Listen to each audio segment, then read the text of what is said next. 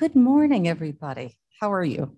Um, So it's going to be a uh, wonderful meeting today. Uh, So we're going to try to be, uh, keep our discussion as uh, succinct as possible, please.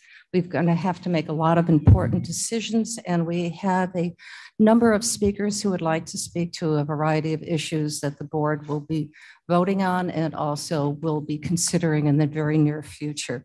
Uh, But we also have uh, an opportunity uh, to do a little celebration as well and a little remembrance. So um, it'll be a good meeting.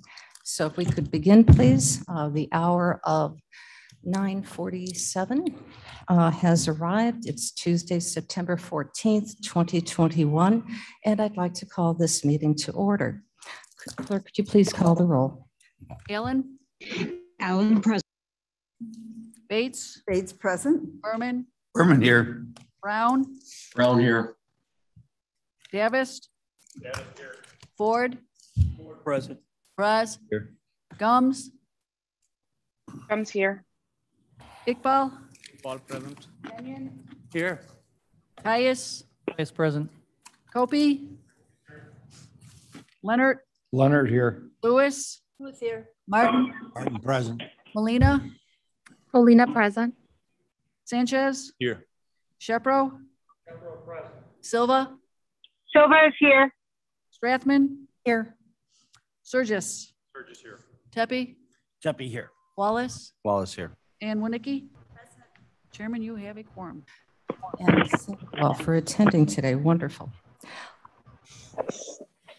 We now have an important remembrance, and this is going to be the solemn part of our meeting. Um, And I would like to introduce um, Board Member Mr. Kenyon, uh, who will introduce the, uh, the speaker for our Pledge of Allegiance, uh, as well as our prayer. Uh, Good morning. Um, Jake Zimmerman, our good friend, is going to lead us in the pledge today. And later, after him, Denise Tracy will do the blessing, and she's a chaplain for the sheriff's office. Uh, It's better than me trying to give a blessing. Thank you, Jake.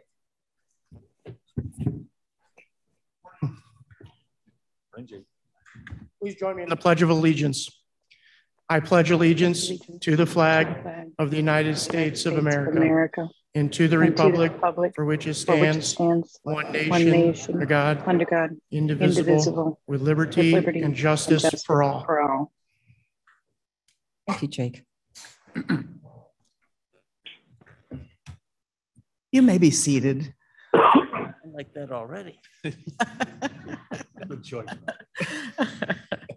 Will you please join me in prayer? Gracious God, whose other name is love, when you created this world and entrusted us with its care, I imagine you thought we human beings would create a paradise or heaven on earth for all of life's creatures to live in with bounty and peace. We keep trying to be better stewards of the world you gave us. Quite honestly, we have had a rough couple of weeks.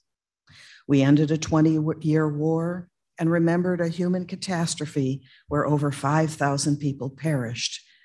Firefighters, law enforcement officers, pilots, federal agents, stockbrokers, secretaries, even wait staff all perished. These folks were someone's mother, father, child, friend, aunt, or uncle. We grieve, we sorrow, we grasp our hands in grief and in anger. Whether those who died were in uniform or private citizens, the world was changed for them, their families, and for all of us.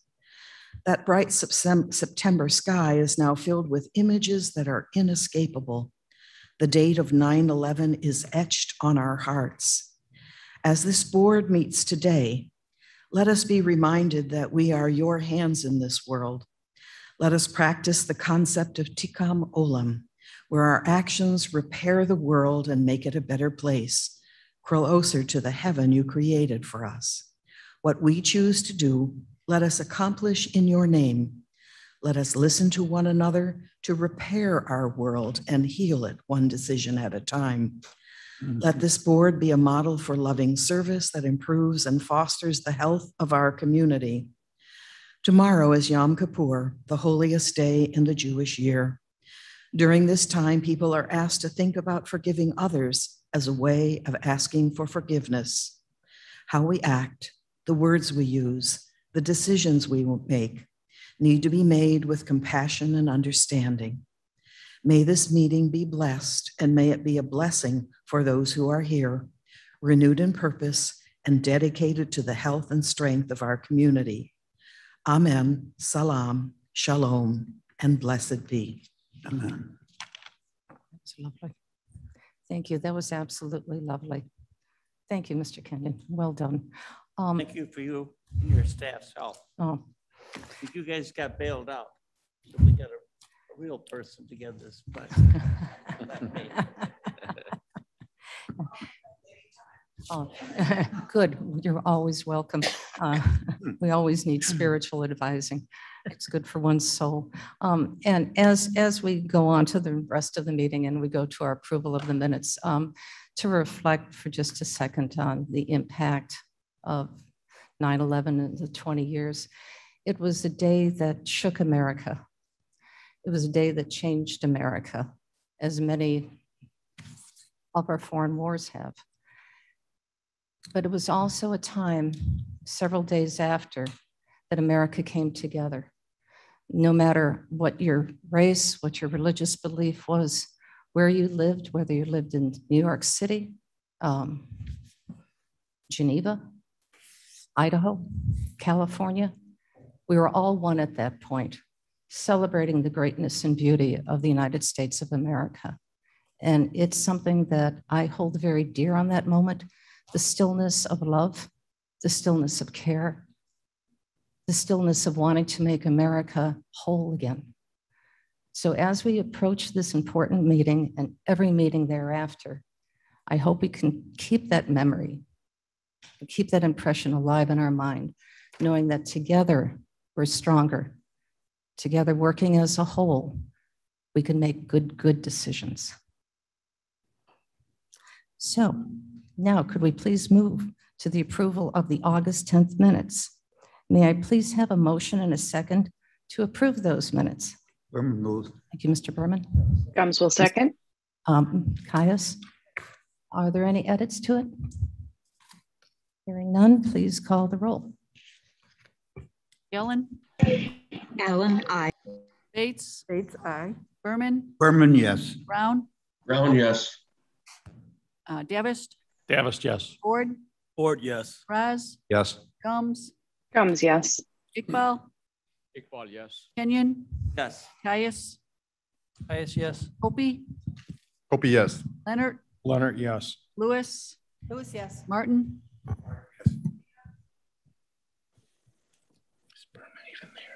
Sanchez? Molina, yes. Okay, I got you. Molina, Sanchez, yes. Shepro? Shepro, yes. Silva? Silva, yes. Rathman? Yes. Surges? Surges, yes. Tepe? Tepe, yes. Wallace? Yes. Wojnicki? Yes. Passes. Passes, thank you. Um, and now um, we're going to our public comments and we have a a lot of people who would like to speak today. And traditionally, we limit our conversation to no more than 30 minutes. I would like to ask for your approval to extend that an additional 15 minutes to give everybody, at least briefly, a chance to address the board. Madam Chair, Yes, sir. I would ask unanimous consent that we extend the time for public comment. Thank you. To 45 minutes. Mm-hmm. Do we need a second? Yes. Is that 45 minutes per person? No. Hmm. You did great. Yeah. Just want to be clear. Forget all. Only, only for you, sir. Thank you. With great oratory, I hope. All right, so let, let us begin. Um, I've broken it up and I'd like to, uh, since I have the authority to do that, to bring all topics like topics together. So I'd like to uh, begin with the topics that are going to um, not be on our agenda or may have some concerns, related concerns to the agenda, but not directly to it. And those speakers are allowed to speak for three minutes. Uh, So I want to know if Mr. Wheeler, uh, are you interested in speaking now, or do you want to hold your comments to when your issue is brought forward? Um, uh, uh, we are speaking on the uh, Monday landscaping zoning, and uh, I could defer our comments uh, until that is considered by the board. Okay, thank you.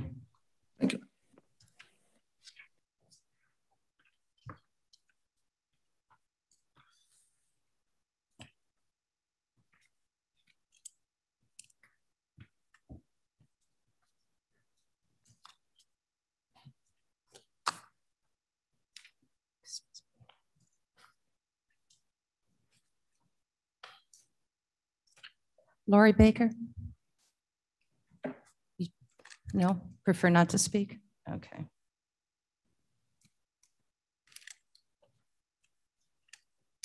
William Worst?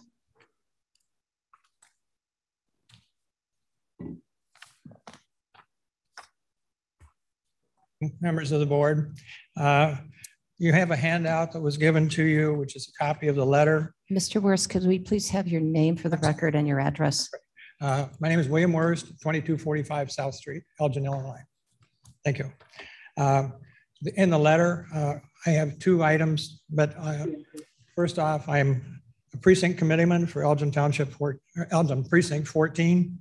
I'm also the uh, chairman of the trustees of the Cornerstone United Methodist Church, uh, was, which hosts the elections for Plato Township precincts two and three.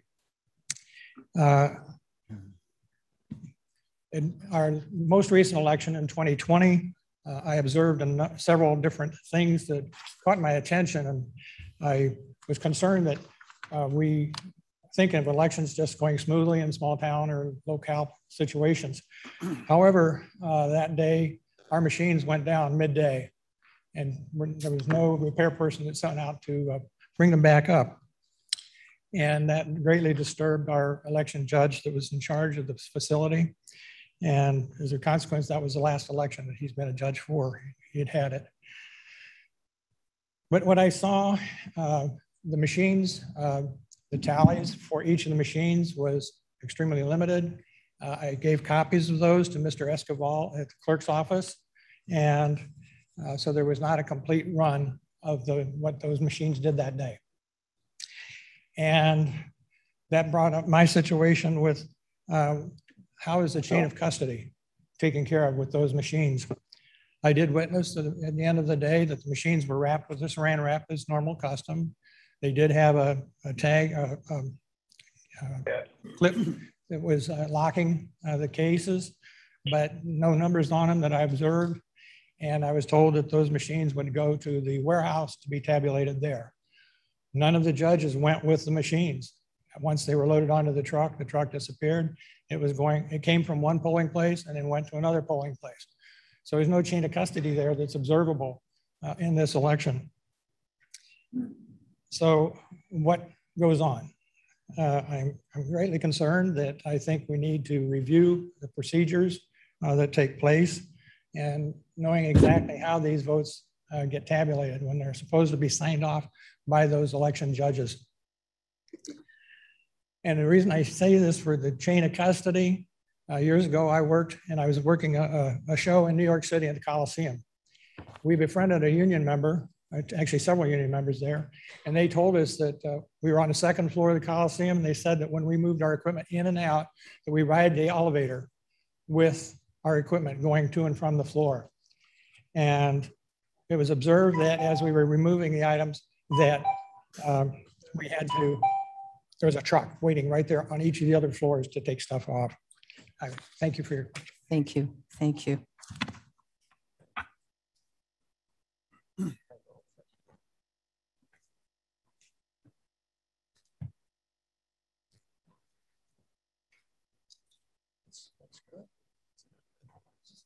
Um, Joseph Zinchuk? Would, would you like to wait? Okay.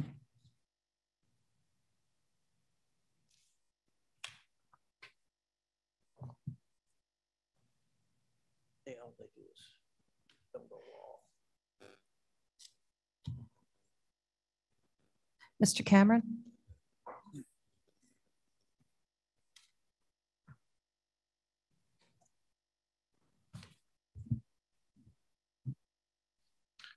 Good morning. My name is Paul Cameron. I live at 3810 Ridge Point Drive in Geneva, and I'm speaking um, related to the solar panel project. I believe it's your 21394 under the finance section.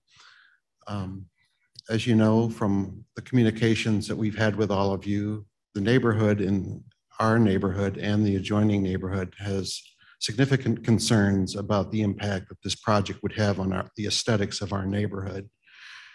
And while we appreciate the efforts that have been made as of late to try to accommodate some of our concerns, there are some significant missteps, I believe, along the way that are causing problems to not only us, but you at this point.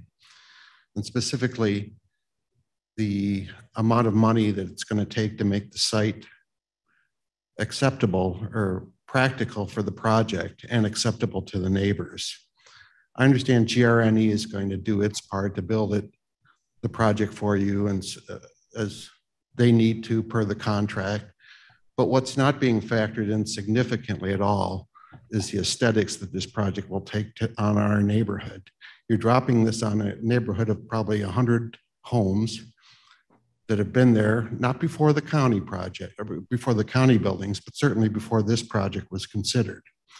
And, and while you considered other locations on this property, what was not given significant enough um, thought and work on was the impact that building a solar panel on a hill right across the street from a bunch of homes would have on those neighbors. So I really feel like this project shouldn't be this far along. And I understand it gets pushed down the road by various subcommittees who have all good intentions. I'm for solar, don't misunderstand me, but I don't believe this is the correct location for a project like this in the neighborhood you're trying to drop it into.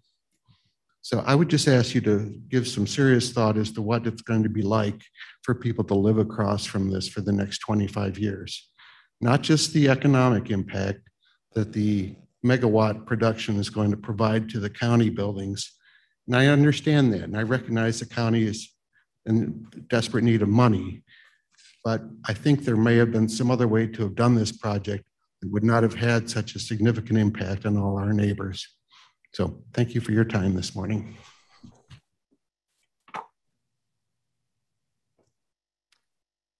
Thank you, Mr. Cameron. Linda Gates, Gasca, I'm sorry, my apologies. Linda Gasca. Linda Gasca here. Um, Madam Chair and Kane County Board members, my name is Linda Gasca. I live at 921 Lake Ridge Court in Sugar Grove. I am here to talk about the solar array number 21394 project. Thank you for taking the initiative of choosing to explore installation of a solar array system behind the Judicial Center for the Kane County government. You are being proactive in taking this step forward in investing in clean energy. As many of you already know, the Climate and Equitable Jobs Act, Senate Bill 2408, has passed in the General Assembly and has been sent on to Governor Pritzker for final passage, which is more than likely going to be tomorrow. One of the provisions of this bill is to curtail greenhouse gas emissions by 40% by the year 2035. That year will be here before we know it. And building the solar array on Kane County government land is a demonstration to our county municipalities, that you are taking this task seriously and are modeling the steps that each municipality must take to achieve that goal. Choosing a solar array system rather than wind turbines is the best alternative for your site and for other reasons. After all, solar energy does not produce either noise or light pollution and can be camouflaged much more easily. We must all sacrifice to save our common home and each other. We can no longer sit idly by and expect the wildfires, hmm. flooding, droughts, zoonotic diseases, increased hurricanes, and tornadoes to just disappear. We must act now and place the well being of our fellow citizens at the forefront of all of our efforts right. and our decisions. Again, thank you for seriously considering the solar array project, and thank you for letting me speak today. Thank you very much.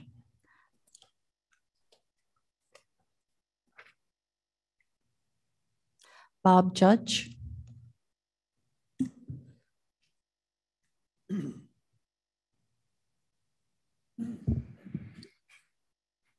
Good morning, committee people.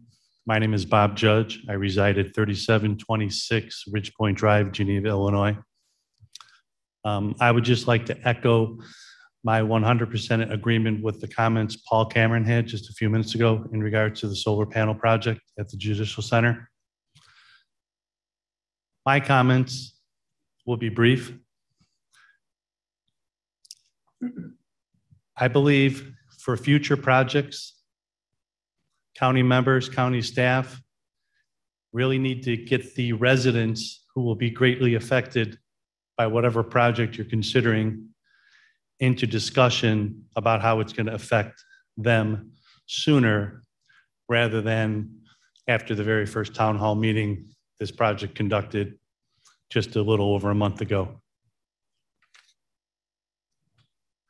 The aesthetics of the complex will be totally diminished negatively, in my, effect, in my opinion, from what GRNE is planning to do.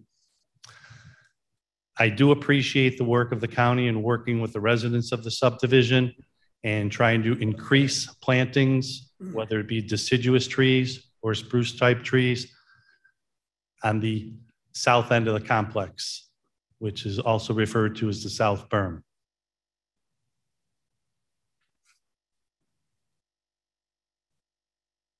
However, you vote today,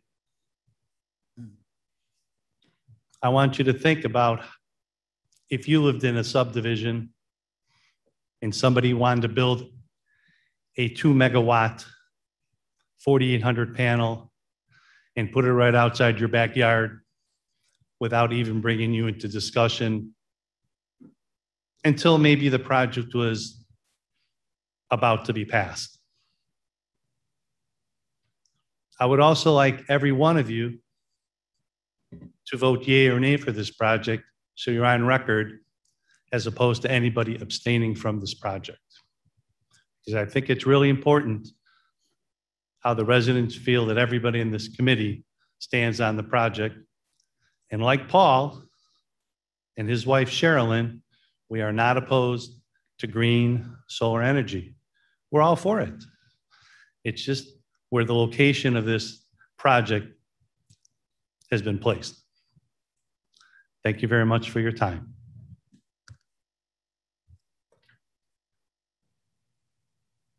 Thank you, Mr. Judge. The next speaker is Sandra Captain.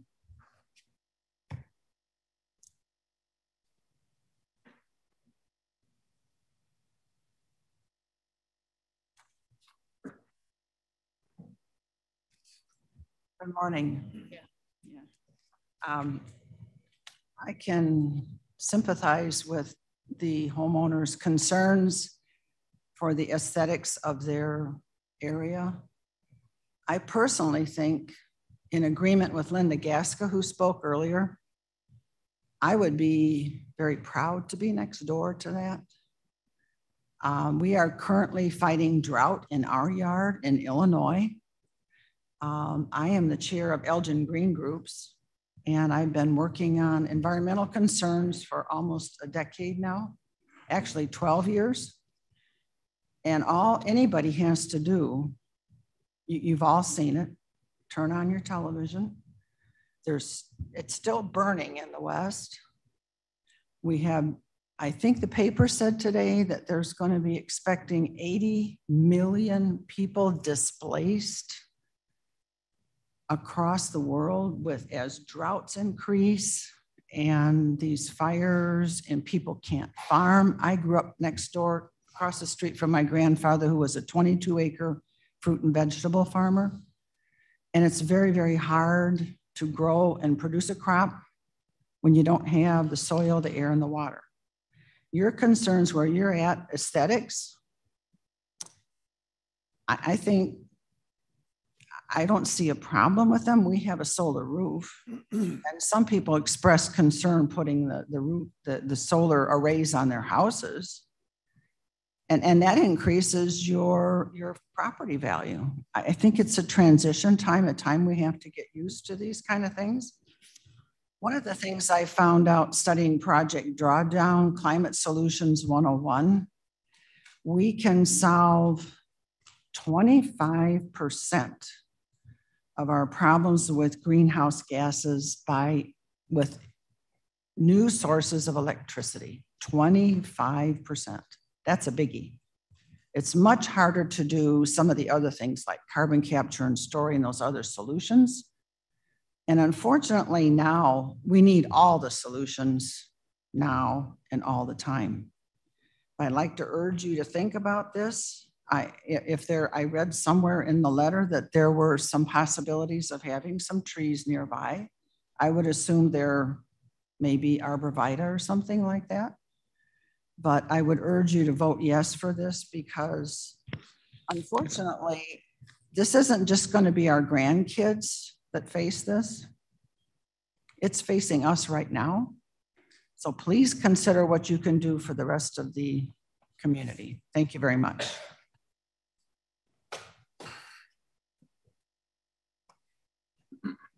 Thank you, Mrs. Captain.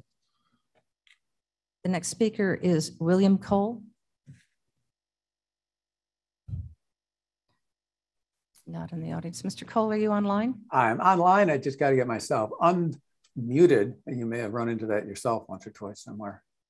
This happened. Here I go, eating up my time. Uh, good morning, Kane County Board members, and thank you for inviting me here to speak today.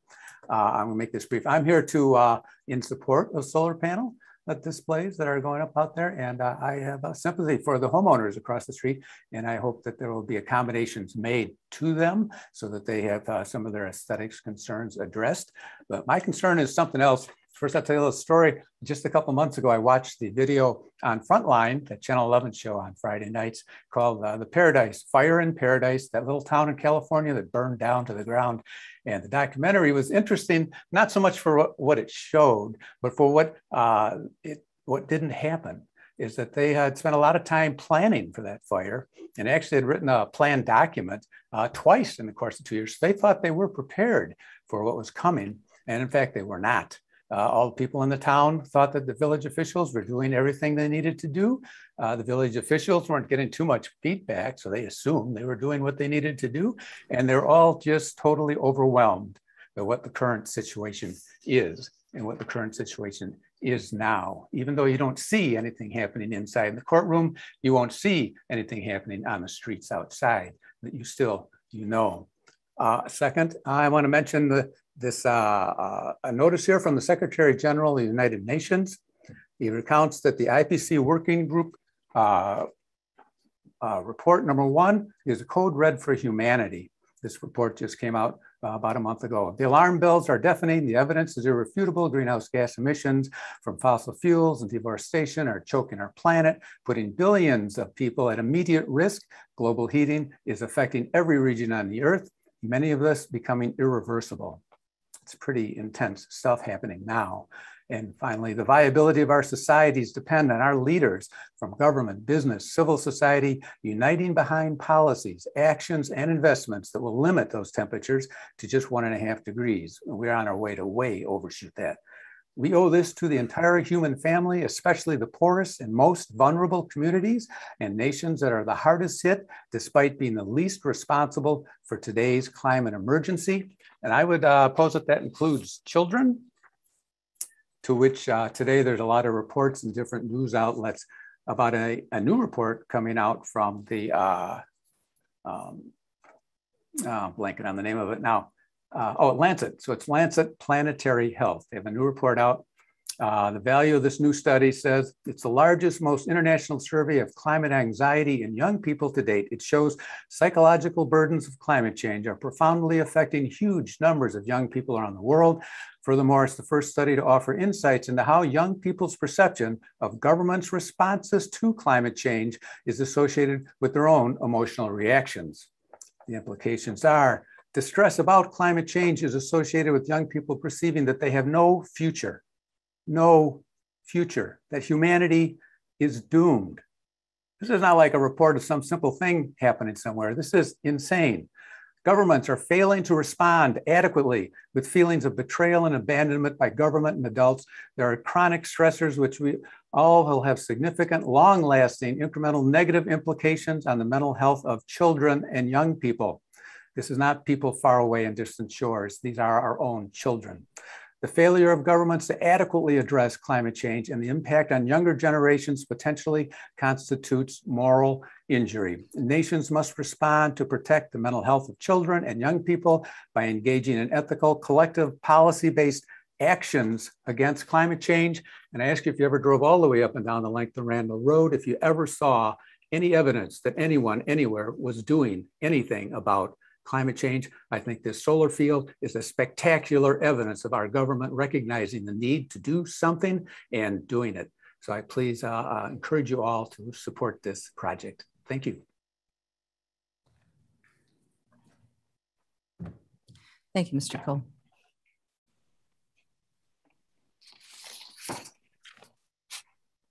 Our next speaker is Jan Mangers.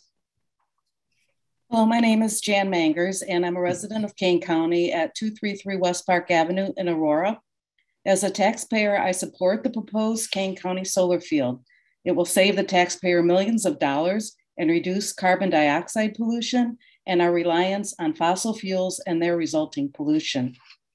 I also am, um, I, I see the neighbors' concerns, and so I support uh, landscaping um, around the project to help um, address these concerns. I've um, researched other solar panel fields, um, such as Jack Solar Garden. They've demonstrated energy costs, but also produce energy and food in tandem. They grow pollinator support plants, they use volunteers in their efforts, um, they provide stormwater maintenance. These are possible future um, low impact opportunities for the Kane County solar fields. Um, for more information on uh, see National Renewable Energy Laboratory website, NREL. Solar energy is the wave of the future, and I applaud the board in considering this action and saving taxpayer dollars. I urge you to vote yes for the Kane County Solar Field. Thank you. Thank you, Ms. Mangers. Tracy McFadden.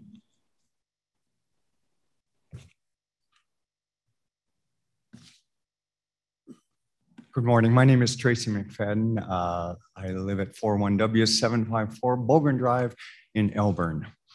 Uh, I've lived in Kane County for almost 30 years. I live off Highway 38 uh, just to the west, uh, a little bit down the road from the site of the uh, solar array. I've raised two daughters in Kane County, and uh, I've even served jury duty at the Judicial Center there. I am a retired airline captain and an Air Force veteran. Uh, my wife is currently a tenured professor at NIU. I really like this solar project uh, for obvious reasons that it'll provide clean energy. It'll improve the health of so many people in Illinois and it'll save us taxpayers money. Um, it's for the greater good of all of us, and especially those of us here in Kane County. So I love this. Uh, energy produced by solar is the future. And solar panels are now very commonplace. And we don't want to see Kane County left behind, as this is what is happening. Uh, and we should be very proud that we, the residents of Kane County, are doing our part to ensure this for our future generations for a sustainable and clean energy future. I drive past this area uh, uh many times a week where the uh, proposed uh, solar array will be. Uh, and I can't wait to drive past it again on my next trip to Lowe's, as I have to go through, and see those solar panels, um, knowing that they're saving money for uh, Kane County and also helping our citizens live with cleaner air. I believe the time is right to do the right thing. We, we don't have any more time. Um, the UN study, which was pointed out here, uh, we are in a code red for humanity. So it's up to us, to everyone in this room, to make the changes to help achieve a better world for our children and our grandchildren. I want to thank the board members for their consideration on this very important resolution and urge you to please vote yes for this resolution to sign the power purchase agreement for their solar system. Thank you. Thank you, Mr. McFadden. Our next speaker is Stephen Morkin. Mr. Morkin, are you online? Yes, I am. Okay, welcome. Thank you. Um, my name is Steve Morgan.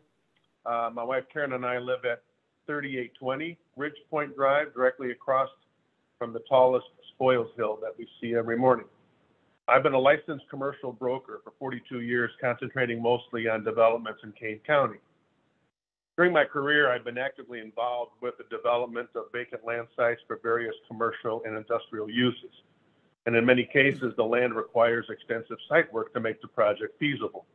However, when the end user or tenant makes a decision to move forward with that site, they'd be under the realization that the final project costs will include any such additional site work and therefore result in higher completion costs and subsequent lease costs of a built-to-suit lease agreement, which is what essentially this is being done.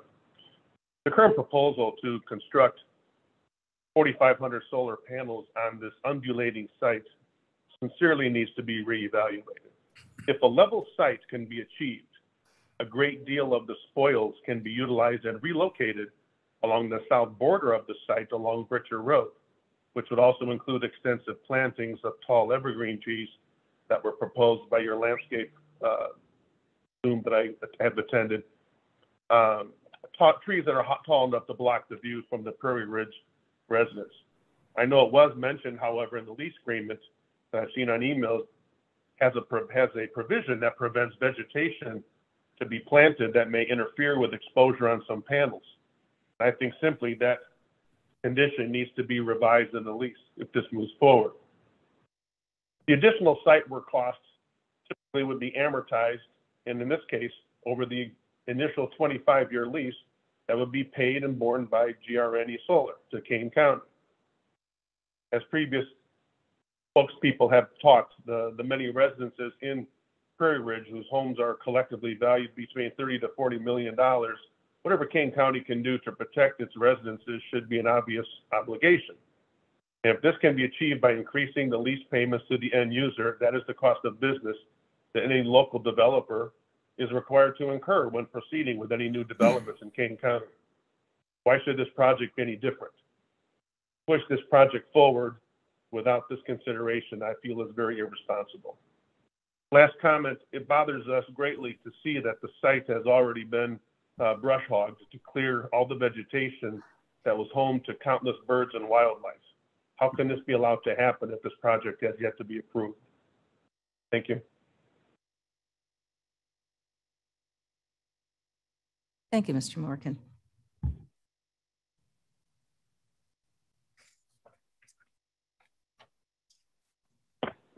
Our next speaker is Carly Riley.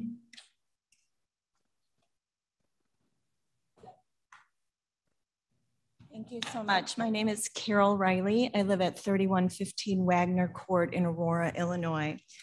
For the last 15 years, I've been involved in sustainability in the county with the Conservation Foundation, the Fox Valley Sustainability Foundation, as well as the City of Aurora Sustainability Committee Advisory Panel to the mayor. Um, I'm here to talk in favor of the solar panels um, for two specific reasons. One is it's fiscally responsible. I know that will create immediate jobs which is part of our and statewide um, initiative for jobs uh, in the energy field. And so that has an immediate economic impact. Uh, the second fiscal uh, responsibility is for the cost savings for all the county residents um, to save that money for our power, to save our taxes. Um, it seems a fiscally responsible thing. The secondary reason is, of course, environmental. I think Kane County can take a leadership role in the region to show that we are here for clean energy and can be an example for our other surrounding counties as they pursue or look at options. We can be a leadership role for that. Um, of course, people have talked about global warming, and that's a reality. I also work for the Red Cross, and we were dealing with multiple disasters uh, throughout the country, many of them attributed to global warming. So this is our opportunity to work um, towards reducing that impact. And lastly, I think it will improve our region's sustainability and viability um, as we look forward to um, drawing people back to this to this state. I work with uh, CMAP, and there's a projection that while we've lost population now, as more disasters hit the coastal areas and other areas, California and things, um, that we will be drawing back population because of our sustainable and resiliency in our community. So I would urge the board to please vote yes on this resolution. Thank you. Thank you, Ms. Riley.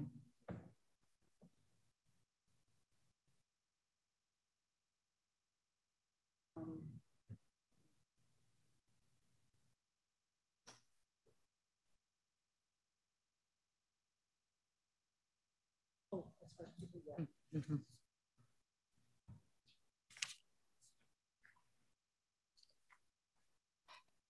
Jean Scone. I'm Jeannie Scown, 860 uh, North Bennett Street, Geneva. Um, I'm a community organizer. I've taken my turn to be a, a, lobbyist for Sierra Club for Clean Energy and Clean Jobs. Um, I also uh, am a, a, precinct committee person. Uh, I am pro uh, this solar array.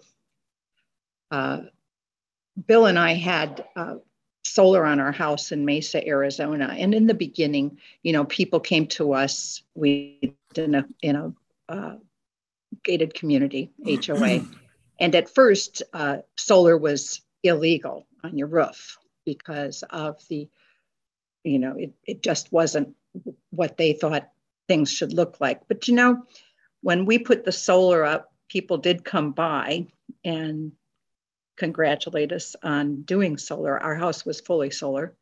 And they got used to it. And actually, I thought they were beautiful uh, for many reasons. I mean, it's, it, it's probably like a modern art display.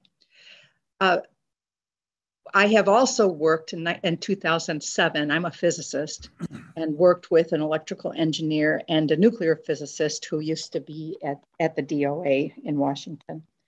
And we created a program where uh, school buildings, the tops of school buildings, could be used for solar. Uh, school buildings are usually in the center of communities, so this would be easy to hook up uh, uh with the communities we don't have time anymore um, to to wait. Uh, this year, we have our air conditioning on all the time. Uh, it has been so hot outside; it's been hard for me to get into the garden. Uh, we are using uh, every other day. We are using good, clean, uh, uh, reverse osmosis water on our lawn and our gardens because otherwise they would be ruined. Uh, check out the leaves that are falling right now off the trees in our area. This is not normal. This is early fall because there is not enough water for them. We can't wait anymore. We need to change our ideas of what is aesthetically beautiful and what is not. And we have neighbors who have put things up. We live on the river and we have a neighbor that's building all sorts of stuff. So our view of the river has been you know, kind of blocked, but that's that's what it's like when you live in a community. You need to get used to it. You need to uh, plant things in front if you don't like what's what's happening in the community. We need to do this, and we need to do it now. We don't have any more time, and I thank uh, the county board for bringing this up. Thank you very much. Thank you, Ms. Scone. And our last speaker, and I know we've had uh, several other people who have asked to speak, um, but they did sign up at the last minute, so um, we just run out of time. But your voices are being heard, whether you're for or against uh, the solar array. But uh, Lona Steele will be our last speaker.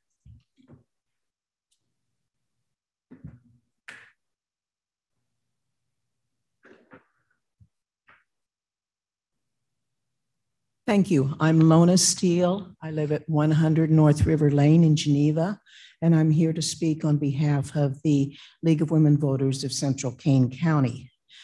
The League of Women Voters of Central Kane County strongly supports the 2MW system. The League believes that there should be a variety of energy sources with the predominant reliance on renewable resources. Not only will the solar field provide a renewable source of energy, it will protect the health of Illinois residents, help slow down global warming, and save money for the taxpayers. For these reasons, we urge the county board members to vote to approve the solar field at the Judicial Center. Thank you so much for considering this and thanks for your time.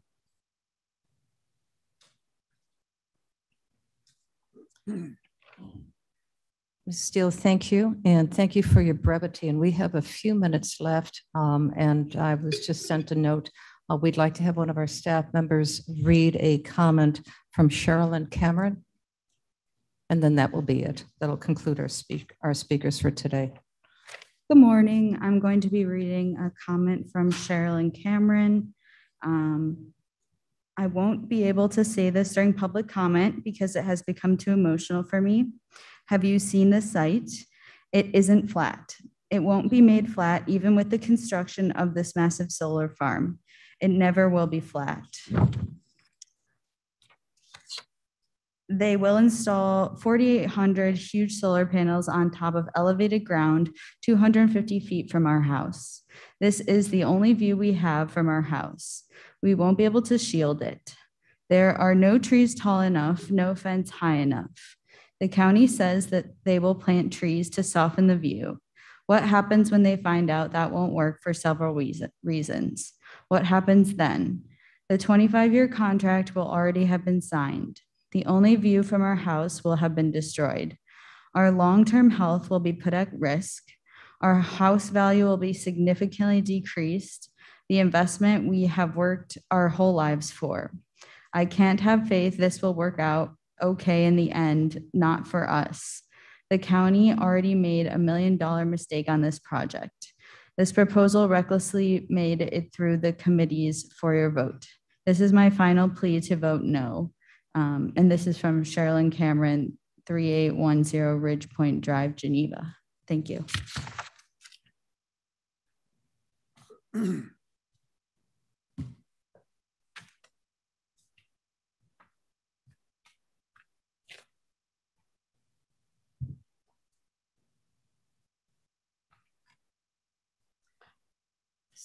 That does conclude our speakers. May I now have a motion and a second to place these public comments on file?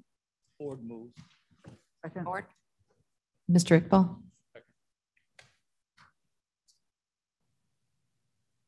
And clerk, could you please call the roll? Ellen, Allen, I.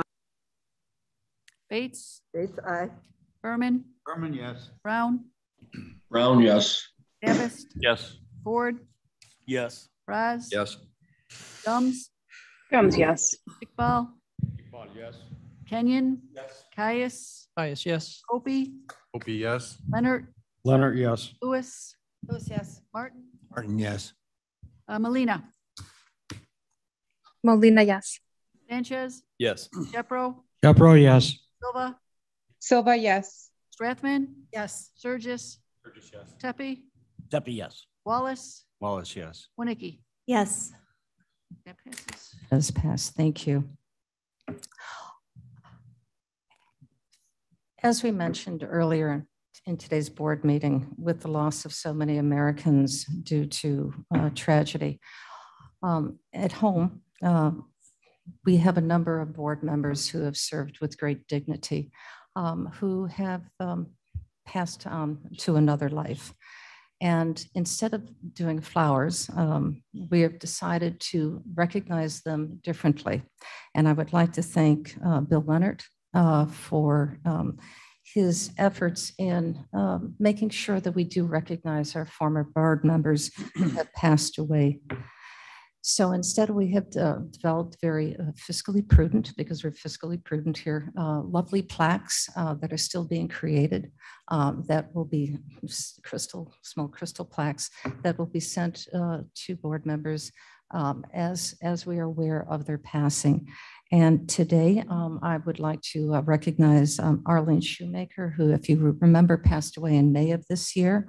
Arlene served as the Forest Preserve president from 1990 to 1992 and served on the county board from 1992 through 1994 and once again from 2006 to 2009.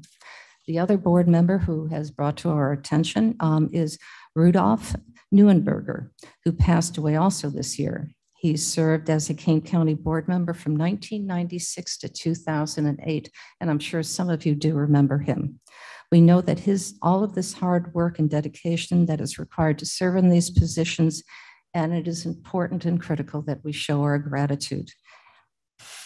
So um, those will be sent out, and if you'd like to see them, we'll bring them up to our office once they're created, and uh, you can uh, see them, and we'll just um, do that on a regular basis um, as, as need be. Um, the other thing is I would like to um, extend, uh, because of the importance of this, and this is with uh, approval of the current uh, sitting uh, chair of the American Rescue Plan Committee, to extend the appointments to that committee. And with that, I'd like to have your consensus to appoint, um, and I've spoken to each one of them, Michelle Gumz, Mike Kenyon, Bill Leonard, and Vern Tepe. Yes, Mr. Thank you. Second, Berman. Thank you, Mr. Berman. Could we please, please have an aye? Aye. Aye. Any opposed? Aye. Fantastic. So, uh, gentlemen and ladies, please roll up your sleeves. You've got work to do.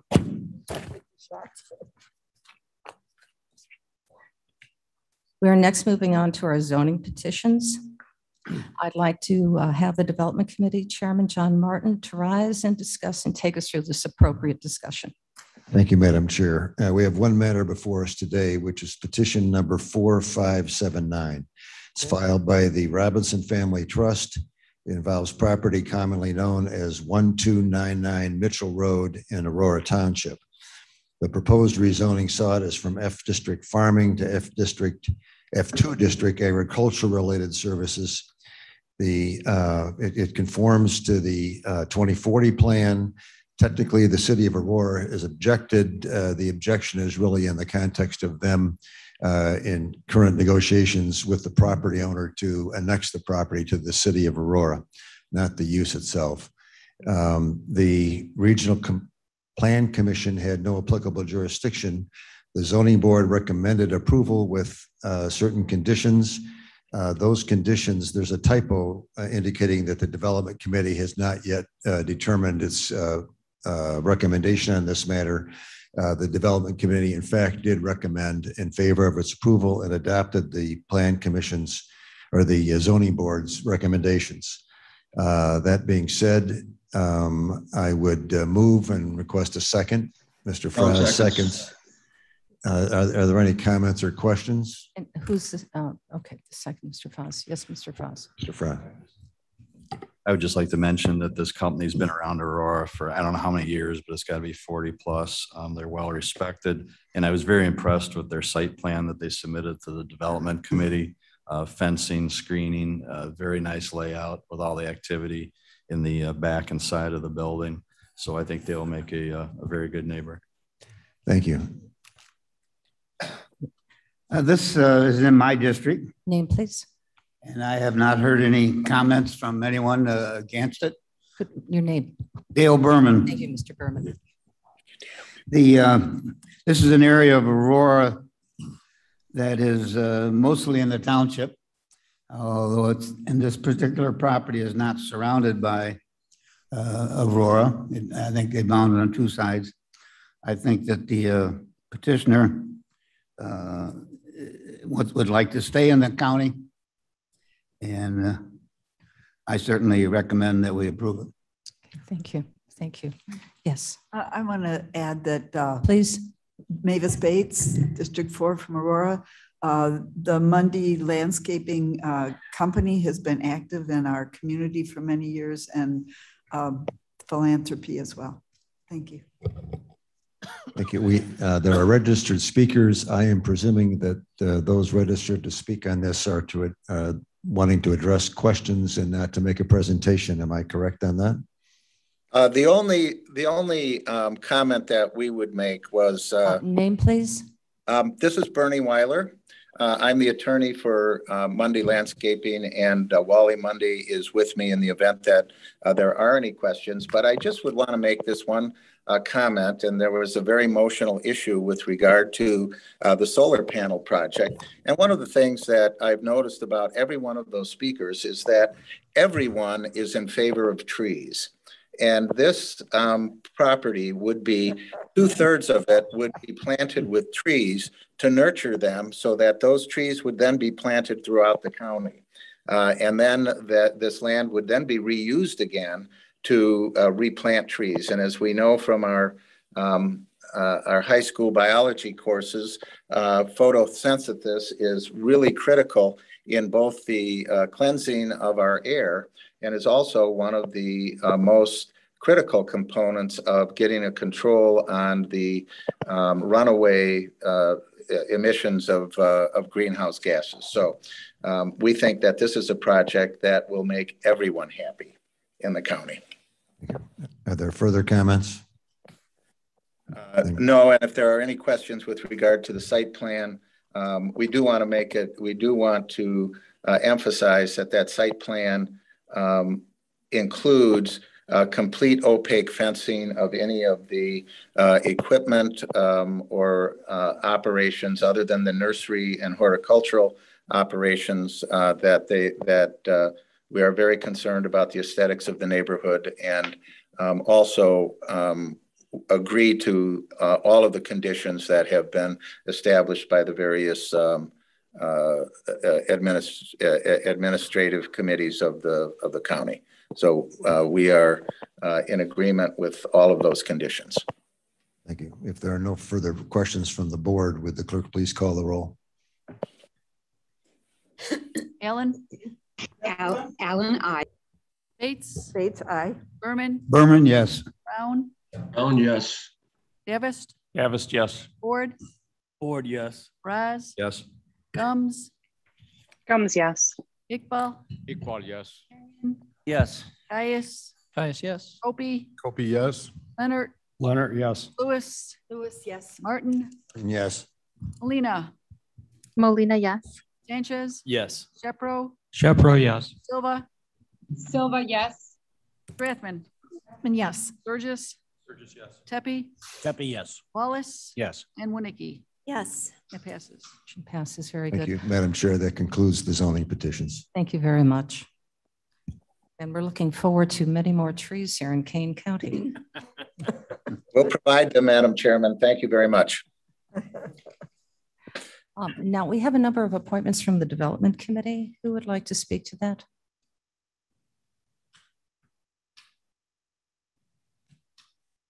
Nobody? Yes, okay, there we are. Thank you. These are all reappointments for three of our drainage districts and one of our sanitary districts. Um, Under Plato Rutland Drainage District, we have Robert Gerke being reappointed.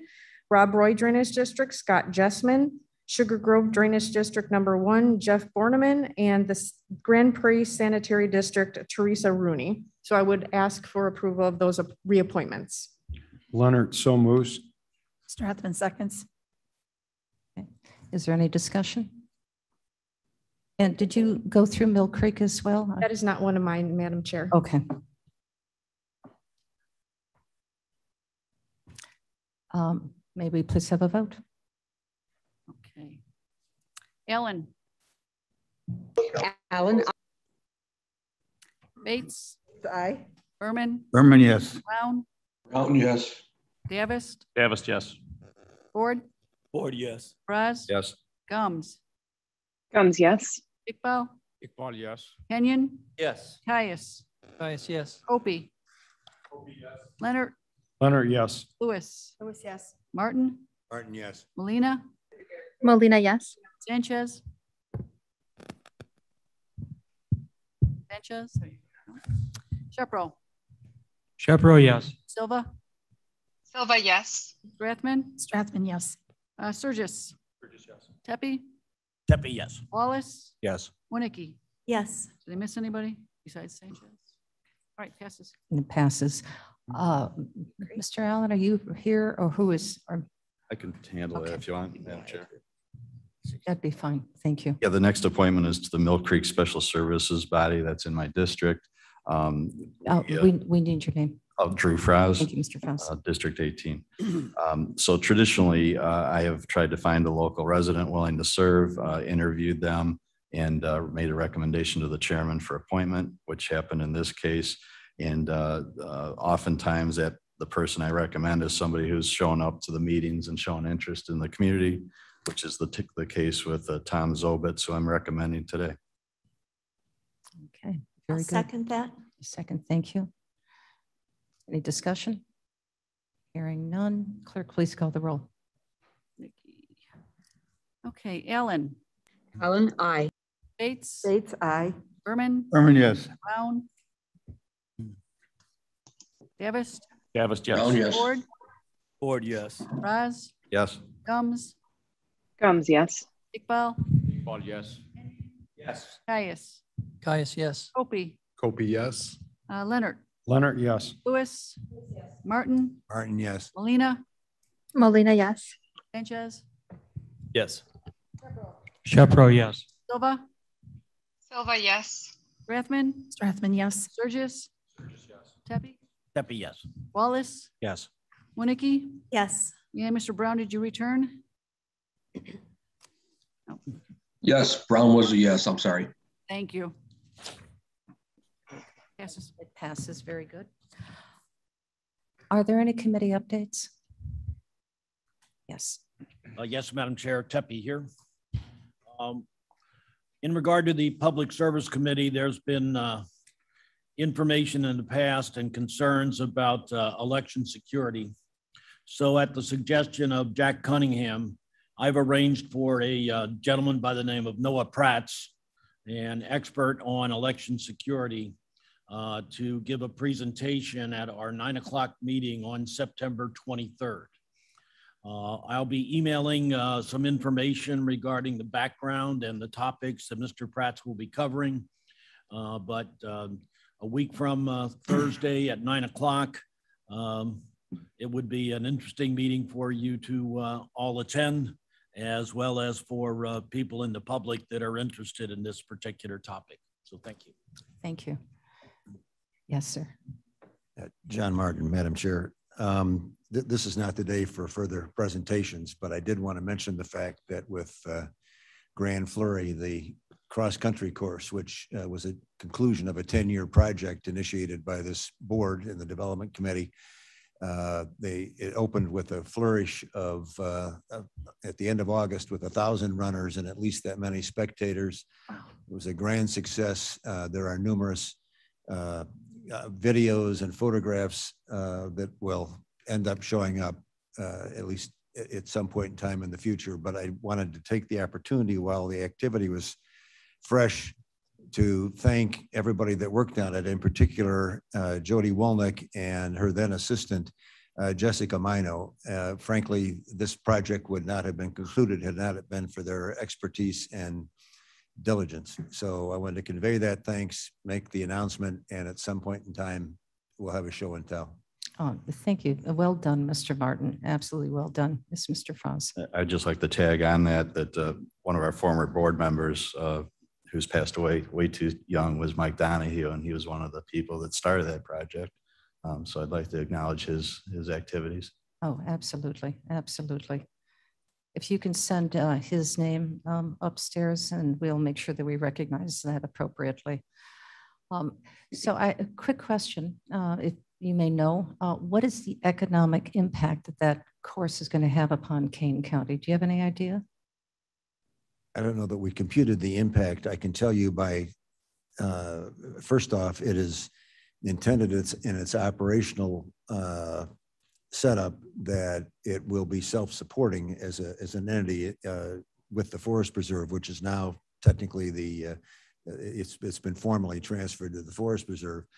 I can tell you that these races, uh, particularly the uh, the uh, collegiate races, uh, one of which is scheduled for this year. Next year, they've already scheduled the Division Three regional regional contest here. Uh, draw thousands of people, and so the anticipation is is that uh, uh, restaurants, hotels, uh, hospitality industry in general will will benefit from it, and and frankly, we have seen uh, tons of excitement on everybody connected with the uh, with the runners community that this is fact uh, in, fact available. And it it it was intended uh, now I'm making my show and tell which I didn't intend to do. It was intended to to differentiate from the rest of the world by the fact that you could actually watch the race. And in this case uh, from particularly from the summit you could see about 80% of the race course uh, which anyone who's been connected with cross country will know that typically what you see is the start uh, and, and the finish.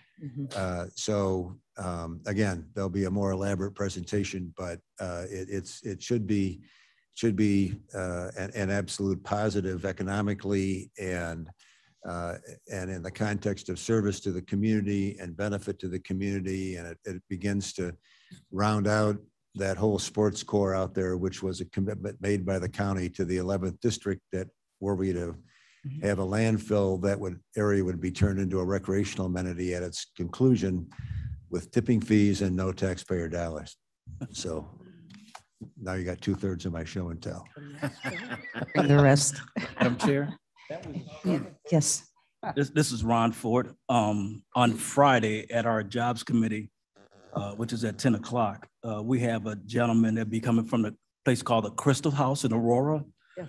He is a master of, uh, engraving on glass and his, his, his products are something to see. So he'll be doing a presentation. He is looking in the future, immediate future, to produce an, an uh, apprenticeship program right here in uh, Kane County. Oh, perfect. And I am familiar with the Crystal House. Um, They're quite survivors.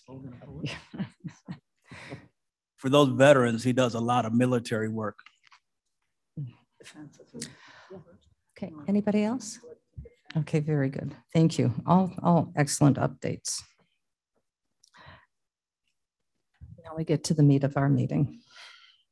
Uh, We have, before we begin, there are cookies available. Um, For all of our audience members, um, if you'd like to have a snack, uh, we have uh, cookies for you. Uh, So you're welcome to those, please. And we've got water uh, behind you. So um, relax and here we go.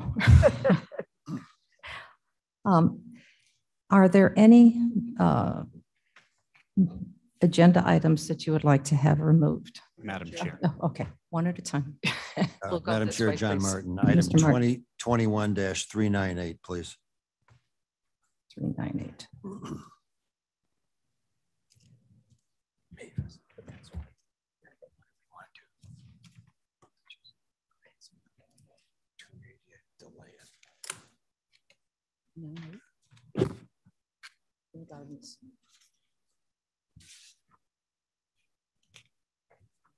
Mr. Kious.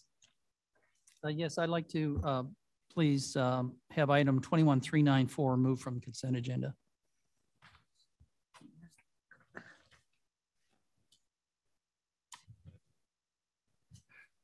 Mr. Iqbal?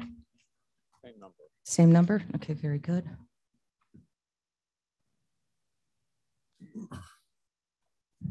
Is there anything else? Anybody online?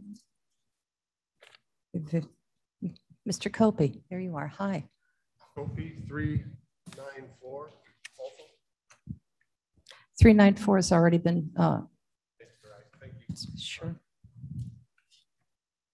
I know there's, uh, there's much conversation to be had about that. Yes, sir.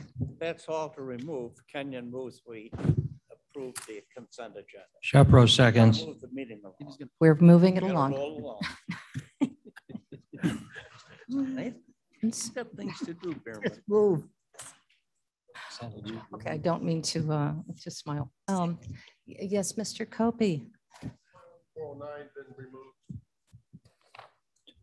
No, sir, it has not. 409, okay. Okay, last call. We have a motion and a second on the floor. Clerk, could you please call the roll? Consent agenda, Allen. Allen, aye. Bates. Bates, aye. Berman. And yes. Brown. Brown, yes. Davis. Davis, yes. Ward. Yes. Frasz. Yes. Gumz. Yes. Iqbal. Iqbal, yes. Kenyon. Yes. Kious. Kious, yes. Opie. Kopi, yes. Leonard. Leonard, yes. Lewis. Yes. Martin. Yes. Molina. Molina, yes. Sanchez. Sanchez, yes. Shepro. Shepro, yes. Silva. Silva, yes. Strathman. Strathman, yes. Burgess. Pepe. Tepe, yes. Wallace. Yes, yes. Wojnicki. Yes. This is very good. Please have a motion and a second. Uh, Discuss and hopefully approve item number 21-394. Move. Moved. yeah. Berman, second. Berman seconds. Madam Chair? Yes, sir. Yes. um, Name, please. Shepro, uh, I've uh, discussed with the state's attorney. I believe there are some technical corrections which we should include as part of uh, the discussion. And I've, I've written it out, but I'll read it. Uh, This would be a motion to amend Resolution 21394 as follows. One, change the title from resolution to ordinance, which I'll explain in a moment. Two, replace the term resolution with ordinance and be it resolved with be it ordained wherever they appear. And to add the following whereas clause to the recitals in the resolution ordinance. Whereas in the opinion of the county board, the real estate hereby leased is no longer necessary, appropriate, required for the use of, profitable to, or for the best interests of the county. And I've written it out. I will hand this up to the clerk. Okay, thank you. Second on that? Uh, Sir, you can just pass it up. I'm sure we can get everybody. Mr. Sanchez perhaps can take it. All right, there we go. Thank you.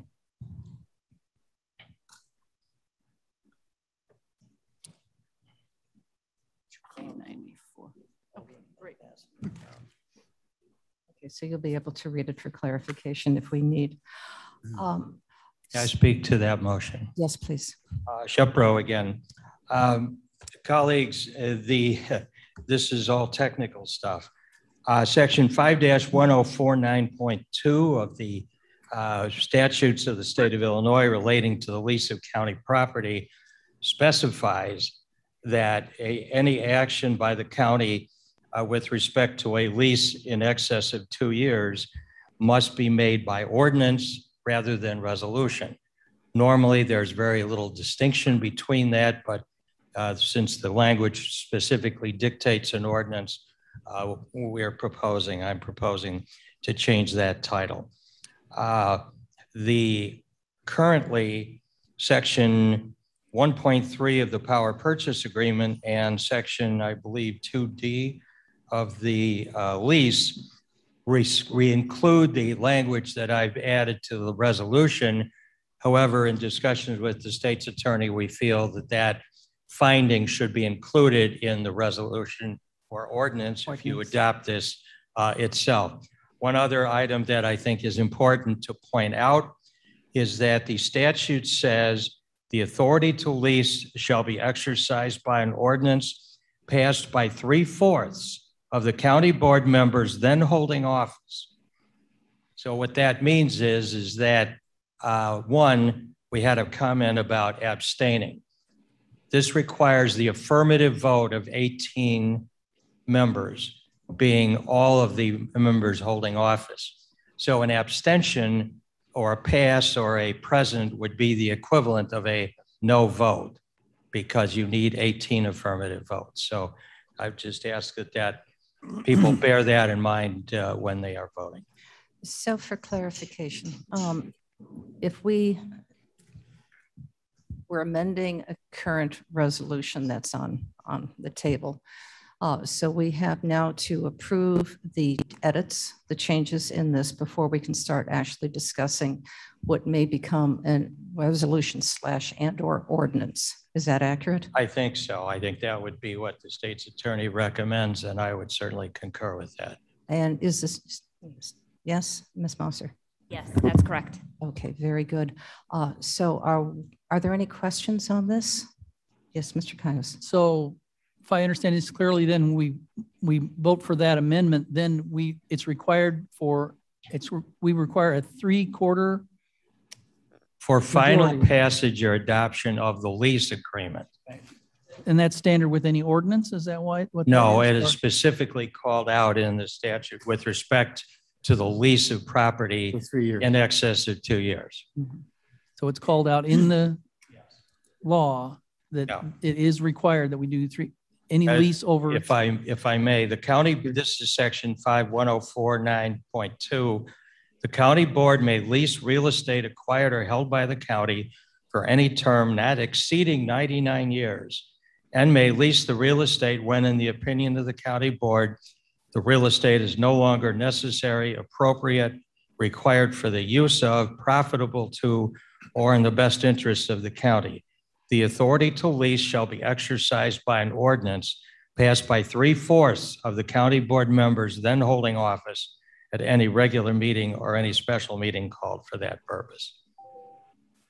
So what we're doing right now, just so I'm clarified, and hopefully everybody else, uh, is that we're just changing language at this point, And we are voting just to change language. Yes. And this would require, I believe, only a simple Majority. majority to pass the amendment.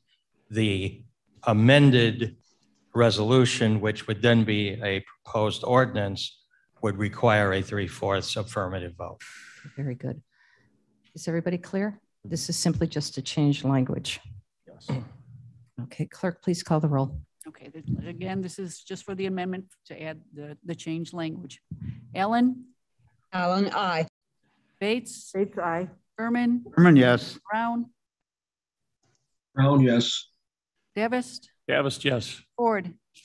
Yes. Frasz? Yes. Gumz? Yes. Iqbal? Iqbal, yes. Kenyon? Yes. Kious? Yes, yes. Opie? Kobe, yes. Leonard? Hunter, yes. Lewis? Lewis, yes. Martin? Martin, yes. Molina? Molina, yes. Sanchez? Yes. Shepro? Shepro, yes. Silva? Silva, yes. Rathman? Yes. Surges? Burgess, yes. Tepe? Tepe, yes. Wallace? Yes. Wojnicki? Yes. It passes. Okay, very good. So change to, it is now as an edit, As amended. as amended, ordinance number 21-394. And the whereas, uh, Four, yeah. yeah, we'll, we'll change that um, as appropriate. Now, is there any discussion? Uh, Yes, Mr. Copey. You, thank you. I, I would like to offer an amendment to the ordinance. And uh, whenever you're ready for that, and I do have copies available. You have to do it now. We need a second for that, please. I'll second. You have to read the, I, I think that'd be a really good idea. to know Okay, thank you. on. Yes, I don't need this, I have this. Um, This, uh, Put the mic closer to you, sir. Thank you. This idea was spurned by the fact that uh, there was language within the resolution that uh, directed savings of money um, to be quantitated into the administration department. And, you know, therefore circumventing all the budgetary debate or and or requirement. So with no further ado, I'll read the the amendment. Whereas the state of Illinois has passed a comprehensive renewable energy mandate that will offer incentives and guidance pertinent to future policy to be acted, enacted by the Kane County government in regards to renewable energy. Whereas Kane County, by condition of circumstance, will experience a significant cost reduction of electricity expense by attrition of this renewable energy proposition and or future propositions. Whereas Kane County will experience a greater demand for insight, understanding, engineering, and staffing for similar renewable energy projects, not limited to solar, whereby departmental budgetary stress will avail. Whereas renewable energy resources will become a new subdepartment under the direction of the Development Department and dedicating a minimum sum of 50,000 per year of subsequent savings to be attributed to the strict use and creation of the renewable energy performa, not limited to licensure agreements, franchise agreements, and net producer of carbon credits where values and price structure of the same will be determined and potentially sold for the purpose of generating revenue for the people's government of Kane County. And I do have copies if anybody would like one. Hopefully I can get a second.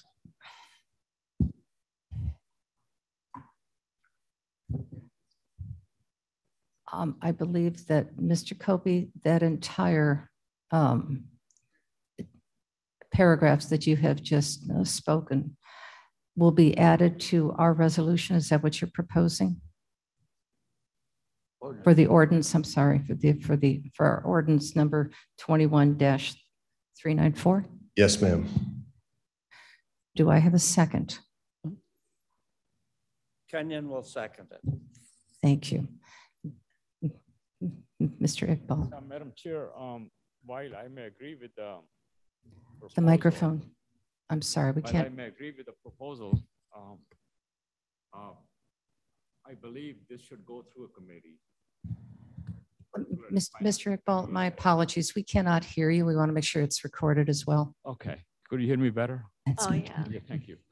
Um, This subject probably should go through a committee, a finance committee or energy committee, or both, uh, and then come to the board, rather than come, this resolution that we have, or ordinance that we have, is already complex. So having more discussion today would simply won't take us anywhere. I, uh, we have this procedure to go through the committee. Thank you. Yeah, yeah. Mr. Kious? I would uh, uh, agree with Mr. uh, Iqbal and uh, move to table to committee. Surges second. Parliamentary inquiry, Shepro, which committee? Which committee? Uh, Does it make any? Does it make any difference? Yeah. A committee? If you're just going to table it, Should be admin. it, it Let's- doesn't, you don't should go have to to admin. specify. Okay, I'd- I'll just table it then. I'll modify mine. Let's do public. Send it to admin. Oh, we don't want the whole thing. to Okay, go. so we are now tabling that. um, Goes to vote. And may we please have the vote? Point, Wait, point Yes, of order. Mr. Tepe. clarify, please. That only tables the amendment. It Correct. Does not table. the Correct. Ordinance. Correct. Correct. Thank you. Okay, So we have to vote to table. uh, Mr. Kobe's suggested amendment to ordinance number 21-394. And who seconded that? Okay, thank you. Point of order, Madam Chair. Yes, Can we pass the resolution and then come back and amend it? Add an amendment? uh, let the It would attorney. be awkward and Well, convoluted. that, that's It- kind Hold of on a second, let our state's attorney speak to that. Correct. So I, if we're passing it, it wouldn't be coming back and amending it. We'd be coming back with a new resolution at that point. so next month there'd be a new resolution or a new ordinance. Correct. Correct? Well, this would be, this would be a resolution because we are forming the budgetary requirement for this. So this would be an, an, an- a Oh, in resolution addition. Okay, related to, okay. yes. I would like to ask, uh, Frasz speaking, I would like to ask Ms. Wolnick if um, a 30-day or more delay would affect our uh, timing on the project. Can I, point of order, is there? Uh, that we- okay, don't we no, wait a to minute. vote? we're- Is there that- no that- discussion? That. There's no we're- discussion. We Is that have, we're still at the point of discussion with the resolution. We have to pass that through yet, the amendment to our ordinance. And there's no, no discussion for table. It has now been tabled. Okay, so. Yes, okay. Go to vote. We need, we need to vote on the table. Okay, this is to table Mr. Kious's No. amendments. No, Mr. Or, Copey. Copey, Mr. I'm Copey. sorry. I am Tag so sorry. that. Copey, Copey, Copey. Let me get it right. K's. Okay. This is to table Mr. Copey's amendments. Uh, Ellen, Allen, I. Bates, Bates, I. Berman, Berman, yes. Brown, Brown, yes. Davis, Davis, yes. Ford, Ford, yes. Frasz, Yes. Gumz, Yes. Iqbal, Iqbal, yes. Kenyon, No. Kious, Kious, yes. Copey, No. Leonard, Yes. Lewis, Lewis, yes. Martin, Martin, Yes. Molina, Molina, yes. Sanchez, Yes. Shepro, Shepro, no. Silva, Silva, yes. Strathman, Strathman, yes. Surges, Surges, yes. Tepe, Tepe, yes. Wallace, Wallace, yes. Wojnicki. Yes, It passes. So the potential resolution has now been tabled. Bringing that up. All right, so now for clarity, uh, we're back to uh, resolution or ordinance, my apologies, 21-394, and it is open for discussion as, as amended. Chris, Don't all speak at once. Yes, sir. Surges here. Um, Madam Chair, I am, you know, this has been debated, discussed, rushed, detoured. And, and, and at this point in time, I have to be honest, I'm not really quite sure what I'm voting on. An ordinance to enter into an agreement, and does that agreement outline everything that's going to happen? Or is this just an agreement? Are we voting right now to enter into an agreement with a contractor to build a facility that we've not yet outlined because it hasn't gone through engineering yet. My point being, I am one hundred percent and, and, and have verbalized this to Mavis, that I am one hundred percent in support of the solar farm. However, I've listened to the residents and the hill that we're talking about is too high. And it has been suggested to me that an alternate has been found, yet I've not seen that, heard that, can't substantiate that. So I'm confused with what I'm voting. And I don't want the wrong signal to be sent. The signal is clear. We want solar, but in support of the residents who will be looking at panels up on the tallest part of the hill, I would like those brought down to, to, to help them a little bit. You know- you know, further, I would like to hear whoever is the district representative for that, what they might have to say regarding it, because these aren't, I'm, I'm in Gilbert's, these aren't my constituents, and it's, you know, I, I, I don't want to be stepping on somebody's toes if I'm out of line, but those are my concerns, and, I- and I'm unsure as to what it is I'm being asked to do today. Um, Yes, yes, please, Mr. Nice. Mr. Kious. Kious. Our task today is quite simply to approve this agreement so that we can proceed to work on the many details that will be required to bring this project to fruition. Details that cannot be addressed by engineers until this agreement is in place. I want to make sure I got this right. So thank we have to pass these agreements. A wise man once said that uh, if we try and work on all the details in committee, Mr. Martin, we end up with a camel instead of a horse. Uh, You're, and I will remind the committee that we are not here in this meeting to hash or rehash those details again. uh, That cannot be defined until this agreement has, is in place. So the agreement has to come first, otherwise there's no financial thing or agreement that can follow. We're not here to determine whether there's glare from the solar. We're not here to determine if photovoltaic energy is safe. We're not here to define exactly which plantings will be be- best to improve the aesthetics of the site. Our board members and staff have worked diligently and will work with the neighbors on that. We're not here today to, to, we're not here today to determine the soil height. We can't do that. That cannot be determined until it has been engineered, and we cannot have it engineered until we approve an agreement. We're not here to go through the contract and vet each line of item to determine if it's appropriate. Our staff and the attorneys, state's attorneys, has done that with the help of Mr. uh, Shepro apparently as well, has approved this agreement. Um, And those board members that have questions about whether it should have been, little items should be changed, had plenty of access to the state's attorney prior to this meeting, and I certainly would hope that they would have done that earlier. Uh, We're not here in this meeting to determine whether the materials that are to be used are produced, where it's produced, how it's produced. This is a policy, decision that will be and should be, I think, addressed, that we should be buying things that are appropriate uh, in deference to the Chinese. Uh, But this is beyond the scope of this meeting. We're here to approve an agreement that will potentially save the county over $5 million in the next 25 years, reduce carbon, and help this country reduce the effect of global climate change. Madam That Chair, clarify that? Surges, Yes, Mr. Sir. No? that's almost as if we rehearsed this and I did not call Commissioner Kious on this whatsoever. I deny working with Surges ever. That's it, that's it. So, but. Not true. But truly, thank you, because I, I want the message sent clearly.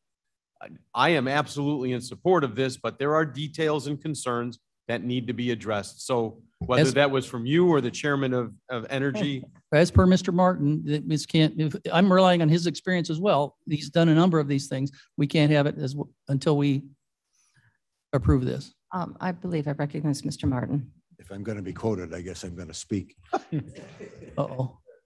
What we're, what we have before us today is a contract. We have a lease to approve.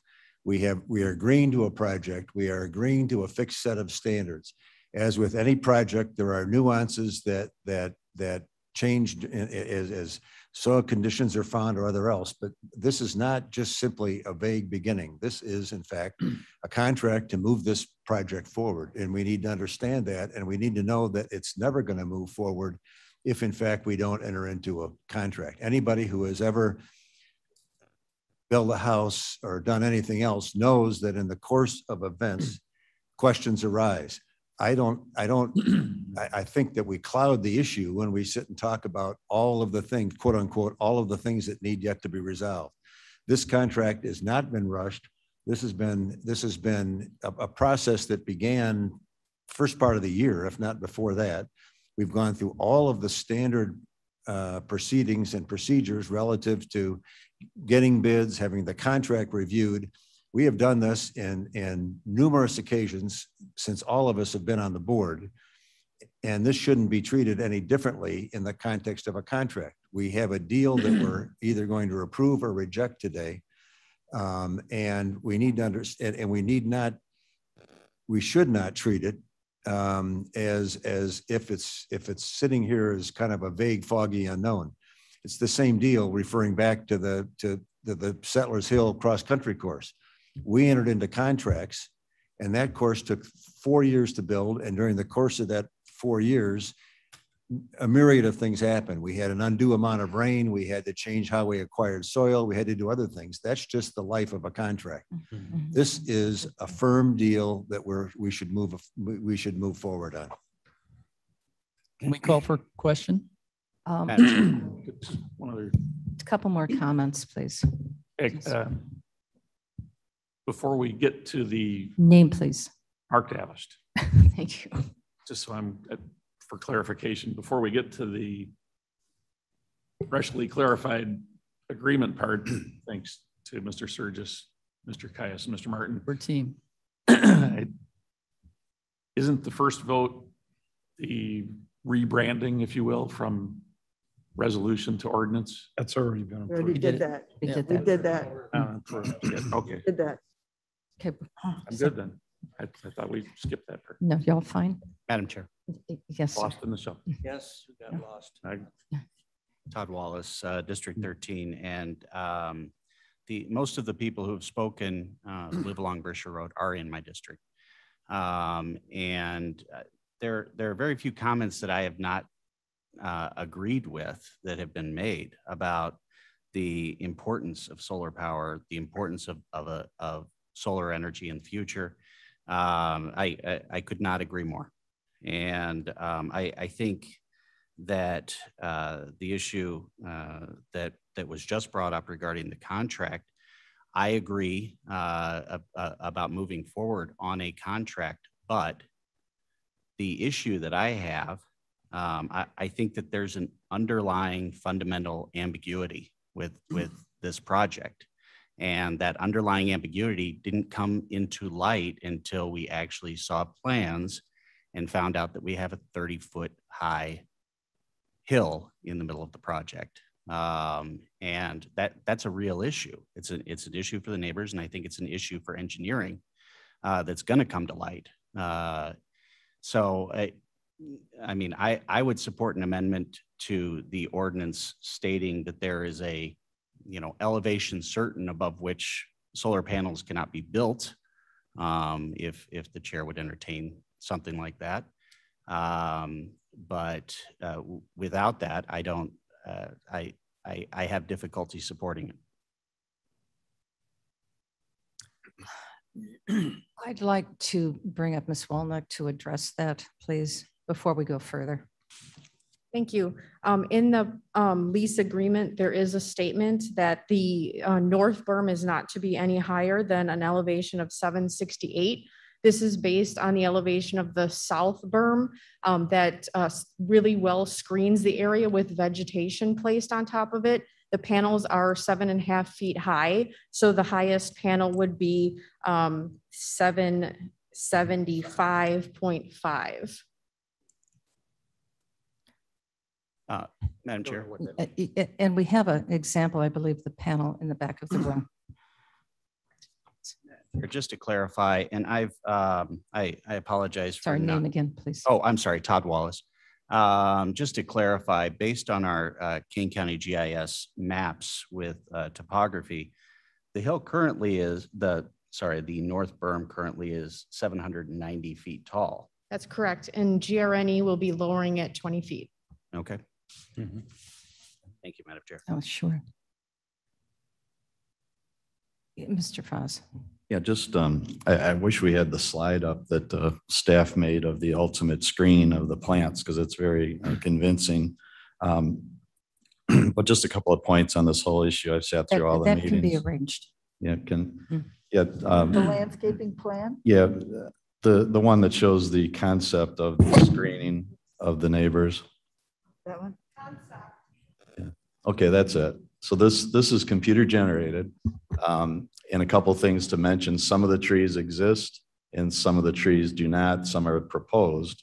And Jody has told me that when it comes time to plant the new trees, they will actually work with the neighbors and stand on their deck and spot them exactly where they make the most benefit.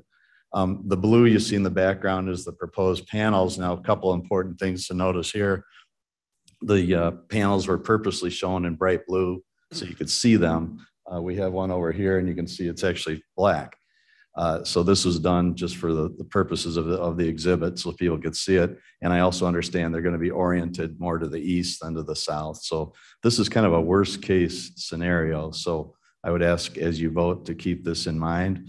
Um, but just a couple of points, the, you know, obviously $5 million in ultimate energy savings. Um, I think it's also important to note, even though solar wasn't shown as a, a particular um, use on the campus, you know, we, it's our campus and the master plan and the campus predate all the neighboring subdivisions and home purchases and the way the homes are oriented. Uh, extensive effort and dollars have been committed to this plan that you're looking up at up there. uh, to help appease the neighbors' concerns. And uh, Cliff, just to address, Mr. Sir, just to address what you mentioned, um, there are detailed concept layouts. Um, so we're not just hoping to design something on a napkin in the future. Um, this is very well laid out and GRNE has actually reviewed it and signed off on it. So what will happen next, uh, as with any construction project, you'll move from concept layout to final engineering. And that's where the- every, every little minute detail will be laid out. And if something arises, then we'll have to deal with it, in- including the landscaping. including the landscaping. But Tree by We'll be working with the neighbors. I've personally committed to them. Um, we'll be working with the neighbors through this whole process. Mhm. Madam Chair, if I may. Uh, Yes, sir. Surges, um, my- my statement is, you know, I have not reviewed the comment, uh, the contract to see where those details are regarding whose responsibility this will be, but I do want to comment that um, I have seen uh, Mr. Frasz in action working with neighborhoods and his commitment to our constituents and making sure we have the very best for them is unquestionable. So Drew, if you're comfortable with this moving forward and you think those protections are in that contract, th- then I'm, I'm happy to move forward with this. If, if in your heart they're not, then we shouldn't be right now. So. Thank you. Uh, uh, uh, Thank you. Mr. Kopi, I believe you've been waiting, and then Mr. Iqbal. Thank you very much. Uh, If you mi- wouldn't mind taking Mr. Iqbal because, uh, first, because some of my response has to do with uh, some discussion I've had with Mr. Iqbal. So you yield to Mr. Iqbal. Very good, Mr. Iqbal. Thank you. Thank you, madam. Um, Is it better to sit down or? to I- stand I, up? yes, if you could sit down and just bring it up closer, I simply. request, uh, Yeah, I hear you. request IT. Second, here we go. We'll get you a mic if you'd like to stand. Okay, Thank you. I'd rather stand up. Here you are. Um, I request the IT department that uh, they put the two slides that I sent them about the amendment that you saw and state attorney saw and they commented. And I would like to propose those two amendments uh, into this ordinance. Uh, And I will want to provide a background to it. So you're proposing a revision to this current ordinance, ordinance number three nine four. Yeah, to the contract, To the contract or to the ordinance? uh, to the contract, which is, which will become part of the uh, ordinance. I think without contract, the ordinance is nothing. Give me just a second. Uh, State's Attorney Mosser, may we start revising the contract at this point?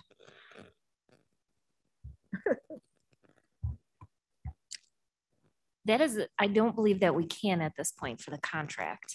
I think that's something that we can try to have further discussions on, but I don't think we could amend the contract at this point in the stage that we're in. I, I would agree. We, we have flexibility with the ordinance, but not with the actual contract, because that has to go through there, as you were well aware, the company, they have to review it, then it has to be reviewed by our state's attorney um, for approval. And by step, yes, sir. I'm sorry, can you speak in a little louder, please, sir?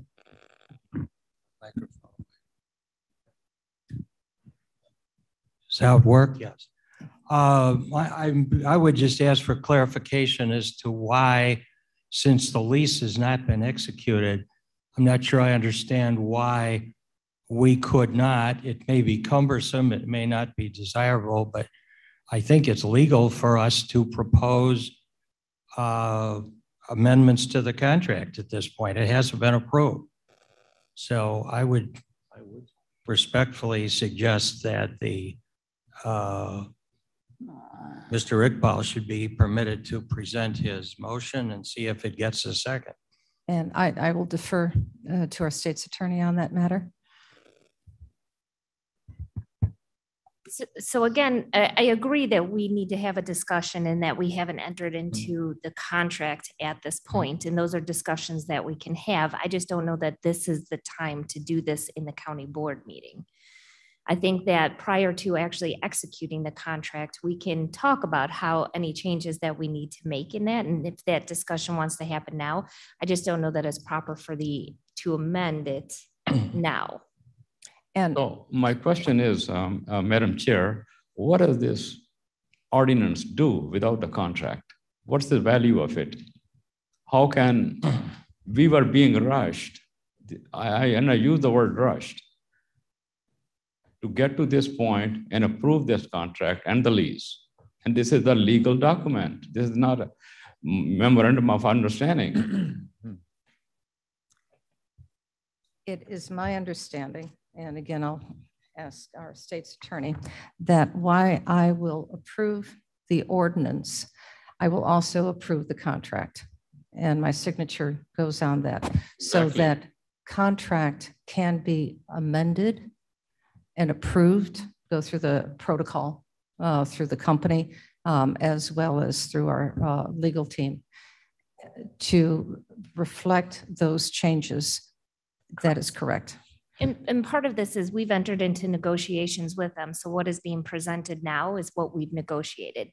Again, we can come back and continue those negotiations prior to the chairman finally signing it, or we can propose amendments at some point.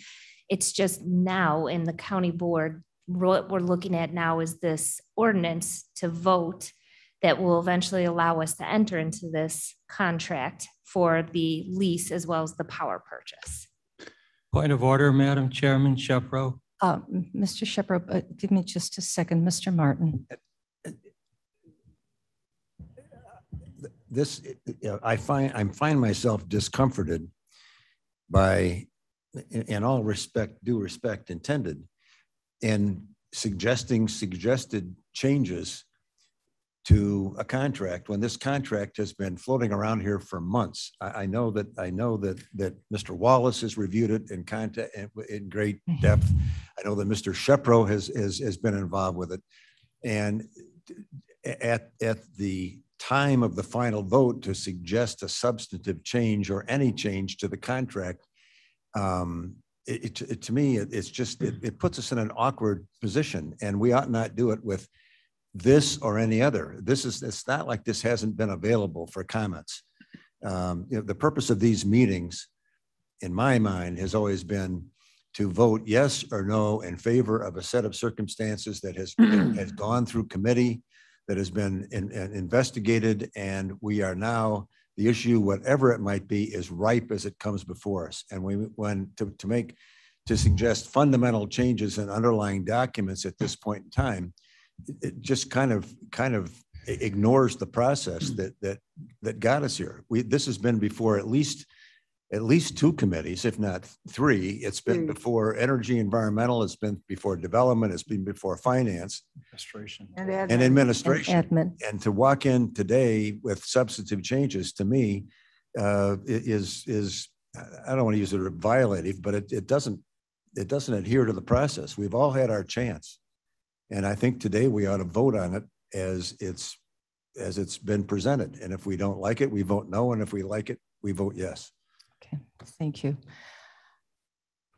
So where a do we? point of order. Point, point, yes. Um, I I guess I agree with Mr. Martin substantively. Name, please. Shepro. Uh, but I, I don't know that because uh, we've got good reasons why we shouldn't be doing it, it means that legally, Mr. Iqbal doesn't have the right to make his motion. So I would ask the chair, is your ruling that Mr. Iqbal's motion is not germane and cannot be considered? So if I, if I may, Jamie Mosser, part of the issue that we have is, as this was a negotiated contract, any changes that are going to be made could then prohibit the deal later on. So procedurally, if this board, if Mr. Iqbal can go ahead and make his motion, there needs to be a second, obviously, for that motion. So he can uh, make his motion, present what it is that he would like. There would have to be a second, and then we would have to proceed from that point. We are advising you, though, that as this has been negotiated, this doesn't mean that if there's a change that's made, that it's accepted down the road. And the contract can be negated. Correct. Which means the project would be stopped. Yes. So I think procedurally, then obviously Mr. Iqbal has made his motion. I think he now has to have the, you have the opportunity, obviously, to talk about what amendment you would like to make, and then we'll see from that point about a second. Okay, so please, sir. Okay, thank you.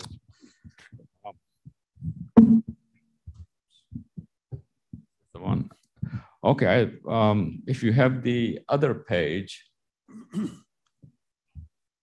uh, the, the other one. One next to it. Okay, good. Thank you. I will present only two uh, amendments or suggestion, whatever you want to call it. Um, Well, we are going into contract, but we are, we have neighbors who are living next door and they are concerned and they have a a constitutional right to live in their property free of disturbances and free of interference. And these panels, the way you showed it, would interfere with your uh, living uh, through glare, what is called reflectivity. And I looked into that, and that's a constitutional issue. Um, good part is that um, this, this contractor, this supplier, uh, says and warrants that, that the panel that they are going to install on this side would have no glare. And we want to put that thing in the contract. This is the warranty, this is the representation that the contractor has made to our staff, to me, and that we want to put it in the contract. That will protect us later on for any constitutional uh, complaint against us. That's number one. Number two, I believe the RFP was done wrongly. It has shortcomings. It has eight or nine amendments. And there is one thing that was done wrong is put the burden of the fence on the south side on the county without knowing what it is.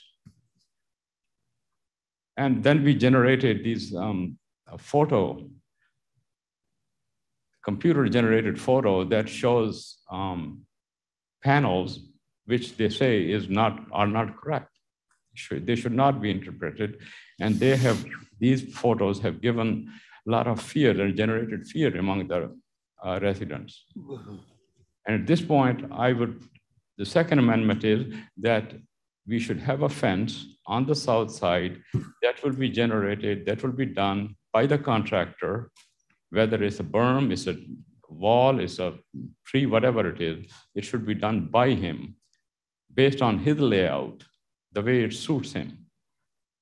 But that fence should be tall enough, there should be no panel visible from resident's window and one foot higher. So the residents cannot see any of the panels. I think these are reasonable. Uh, if they have not negotiated, I, I believe it's, it's a malpractice. Okay. um, Thank you. Do I have a second? I'll second it, ma'am. Tom Copey. Mr. Copey, okay. But if I may, Yes, sir. I would like to second it, back up a little bit, with one condition, that the term glare and reflectivity are not synonymous. They are two different phenomena. And I think the concern is probably reflectivity, and we can solve that problem uh, while we have debated not to debate during our debates, um, in that in that we live in this 42nd parallel and the angle of, of, uh, of ray of the sun will be approximately 50 degrees. And uh, the, uh, the panels can be adjusted at high noon to, uh, to hit, um, hit that just about square at 90 degrees. Um, or uh, one, one, 180 degrees straight on, I should say. Now, in the late evenings and early mornings, the sun will have a different angle and um, the adjustment of the panels can be considered and you can eliminate the, the reflection completely uh, from going into the houses. As far as glare, I don't think that this is pertinent to the discussion completely. Uh, since uh, glare exists everywhere, we have glare when we're driving. We have glare from the neighbor's kid's wagon. We have glare from the bumpers of the cars. And, uh, and uh, And I don't think that is pertinent to this discussion. Uh, But I would second the, uh, the, his uh, amendment to consider uh, everything that he has suggested and uh, hope for the best. Thank you. Before, I, I thank you because I have this. That's what I was going to ask. Thank you. So you've heard the comments. Can you, uh, would you be in agreement to revise your motion to remove glare to Um, reflectivity? Yeah, that's correct. I, I agree. Okay. So shall have any re- reflectivity radiating?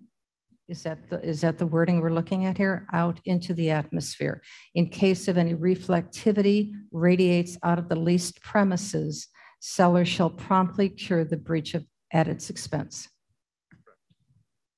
Okay. All right. We've got, I know I'd like to answer that question because we have a potential demonstration to talk about the reflectivity of that particular panel. Yes, sir. Frasz speaking. Um, I, I just have a real concern. I'd like to hear staff's take on this, but the, the fence was never intended to be a part of the screening process. Um, the fence is there for security. So that's why it wasn't shown on the screening exhibit that we just had up recently. So to say that the fence has to be high enough to screen this would be, uh, you know, 40 feet tall. That's why the trees will ultimately be that tall. Uh, so it's really not a, an appropriate change. And if it, if it, if we were to pass this, we'd be asking somebody to build a fence that is impossible to build and impractical to finance. So it's, it's just something that isn't appropriate. Okay, we have, would you like to bring up, excuse me, would you like to bring up staff to talk about? If Joe, was I, am I correct in that statement, Jody? I'd like to bring up Jody Wojnicki, please. And I need your name, please, Ms. Bates. Mavis Bates. That statement is correct. Um, it's a seven foot fence and the preferred option at this point is a decorative aluminum fence that would not screen the facility. Jody, uh, Ms. Wojnicki, would you like to read your statement now? um, Um, I, I. I- I would defer to Madam Chair. I think I am partially reading it as I'm answering these questions. So, um, Um, we have a question regarding reflectivity. Is there anybody here that could, um, that could speak to that? I Of the- can- Of the I- panels that are going to be installed? Certainly, and I can defer to Eric um, from GRNE um, also. Uh, The entire goal of the solar panels is penetration, not reflection. That's a statement directly from the panel manufacturer. This is why the FAA allows solar fields to be located near airports. If you drive around the county and look at community solar projects or panels on residential roofs, they are matte in appearance. There is no discernible glare from the panels. In fact, we have a panel over there in the corner. You can see um, there's a very little uh, glare or reflectivity is the, the term we're using. Um, the Canadian solar panels have less than a 4% reflectance value in the east-west direction for this project. The panels are not pointing ever in the direction of the south neighbors, and so there's zero reflectance in that direction. Um, the military's requirement is a 10% maximum reflection for um, airports and uh, airplanes. And Chris Allen, with his military experience, is here as well and can speak further to that if uh, you so desire. Um, Yes, Mr. Allen, please come up and we can uh, then finish this conversation about reflectivity. Thank you, Madam Chair. Uh, As many of you know, I'm a career government employee. I used to work with the FAA that uh, Ms. Wojnicki uh, referenced. Um, At this time, I'm going to make it clear that I no longer speak for the FAA and or the DOD. I'm not employed with them. Is that, is that proper? Um, Good idea. a good legal solution. Thank you. Thank you, ma'am. Um, Yes, as a former employee with the FAA, um, I can speak to their mission, and that is 100% safety and security of uh, aviation in this country and abroad. Uh, They take it very seriously. So if the FAA has set up a policy that, uh, quite frankly, basically reference water glare as their limit, um, that's acceptable as well as the DOD. Um, They uh, have a high uh, mission. Their aircraft are very expensive, and just like uh, civilian and commercial aircraft, they're carrying uh, human human transportation as well as cargo. So if those both organizations have set standards, which these standards here for this project fall below that, I think that would be acceptable. And that is the Federal Aviation uh, uh, Administration, yes, under the Department of Transportation, And DOD is? Department of Defense. Thank you very much. Madam Chair, I think I still have the floor. Are we all done with Mr. Kious? I mean, Mr. Kious, I'm sorry, Mr. Allen. Do they look alike? I think you just disowned me. No, just I evict you. Thank you, ma'am. Thank you. Thank you, Mr. Allen. Yes. Yes, I would say, like to say that in light of all the research that we have done on this um, contract and everything that has happened in the past during two E and E committee meetings and admin and exec and not to the board, these two points are moot and irrelevant to the conversation at hand. Uh, there is no glare. We've proved that over and over again. The, pa- the panels will be mostly, uh, as you saw in that picture just now, hidden from view by $50,000 worth of landscaping. These amendments are not needed. I think this will be the last question, and we should call the question to approve a potential amendment to this ordinance. Yes, sir. Thank you, Madam Chair. Tepe here. Uh, I don't understand the, uh, the change from one to 10 or from one to 10 million. Yes. Speak with that. Yes, of course. Uh, there is a clause in the um, contract which says the seller would have a, a CG, uh, commercial general liability of $1 million. Uh, and then on an, in another part of the contract, it says they will draw from this policy any loss that they have for the panel. And the panels are more than a million dollars. So what is what are we left with? If we have a claim against the seller, where do we go? So, and this is a cheap policy. So instead of 1 million, it should be 10 million. That's what I'm saying. And number two, there is a, since we are at this topic, the contract uses the word that this policy will cover contractual liability. I don't believe CG covers contractual liability. That's a breach of contract. I don't think it covers. So I asked this question uh, to state attorney's office. And Miss Miss Miss Mosser or Jody? The panel costs are actually covered in section um, 10 III of the lease form. Um, and that is a no, in, no deductible shall exceed $10 million. So that's where your $10 million is coming from. The $1 million in the commercial general liability insurance is in accordance with the Kane County standards for our procurement documents and with our purchasing department. Um, both these sections have been reviewed by the state's attorney's office and approved. All right, are we ready? Uh, let's call the vote, please. And This is- does everybody know what we're voting on? No. Five things now. Look up the amendment. Motion to, um, this is to amend the amendment and the suggestions are on the screen. And everybody can see those? Do we need to read them? You're fine? Okay, go ahead, please. Oh, yes, yes, Mr. Shepherd. That, that is accurate. That is accurate. On the entire suggested amendment presented by Mr. Iqbal. Madam Chair. creo que la Caius, estoy I, pegando, pero en dado I- caso que vea que está aquí en I don't think I, I completely understand this. We've gone through about three different things and added two at the end. Uh, I don't understand what's going through this. I, I don't ask for an answer. I'm going to say that this is the kind of thing that pulling the last minute out here, I agree with whoever said it, that changing this thing at the last minute is not appropriate, and I moved to table. I second. Okay, it is now tabled. Okay, thank you. Thank you. Without discussion. Yeah. with- with- discussion. For discussion.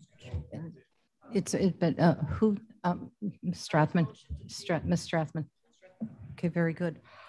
Okay, so now, if we are all done. Yes.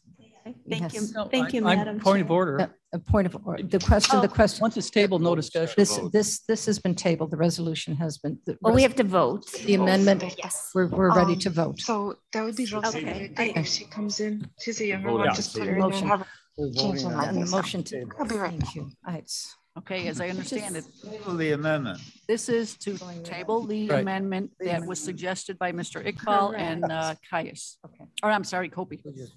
Opie. Okay, or it's tabled. Okay, but now we have to vote and make sure that it's tabled. Ready, here goes. Ellen, Allen, I. Bates, Bates, aye. Berman, Berman. Yes. Brown, Brown, yes. Davis, Davis, yes. Ford, Yes. Frasz. Yes. Gumz, Yes. Iqbal, No. Kenyon, Thank God, yes. Kious, Ditto. Yes. okay, Kopi, Leonard, yes. Lewis, Lewis, yes. Martin, Yes. Molina, Molina, yes. Sanchez, Yes. Shepro. Silva, Silva, yes. Strathman, Yes. Surges, Tepe, Tepe, yes. Wallace, No. Wojnicki? Yes. It passes. So it's tabled. All right, you throw me some curveballs. Let's see what we can do again. Here we are. Now, I believe we are back again uh, to, um, is there any further discussion? That just go. Yeah, yeah, really. And, and one more, and then that's it. I have a very brief, a brief thought, but um, uh, I just have a suggestion for consideration, and I, I just want to present it to have it on record. This is not an amendment, but um, we are going to have quite a substantial savings uh, by putting in these solar panels. And I think our environmental and water resource department is extremely uh, important to our county.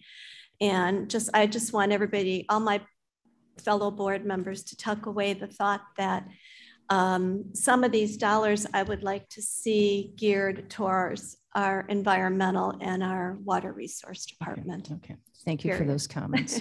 You're welcome. Let's do it. Let's, let, let's, let's call the vote, please. Okay, this is the vote on the ordinance as amended. And remember, three quarters, correct? 18 are needed. Okay, Allen, Allen, I. Bates, Bates, aye. Berman, Berman, yes. Brown, Brown, yes. Davis, Davis, yes. Ford, Yes. Frasz, Yes. Gumz, Yes. Iqbal, Iqbal, no. Ken, Yes.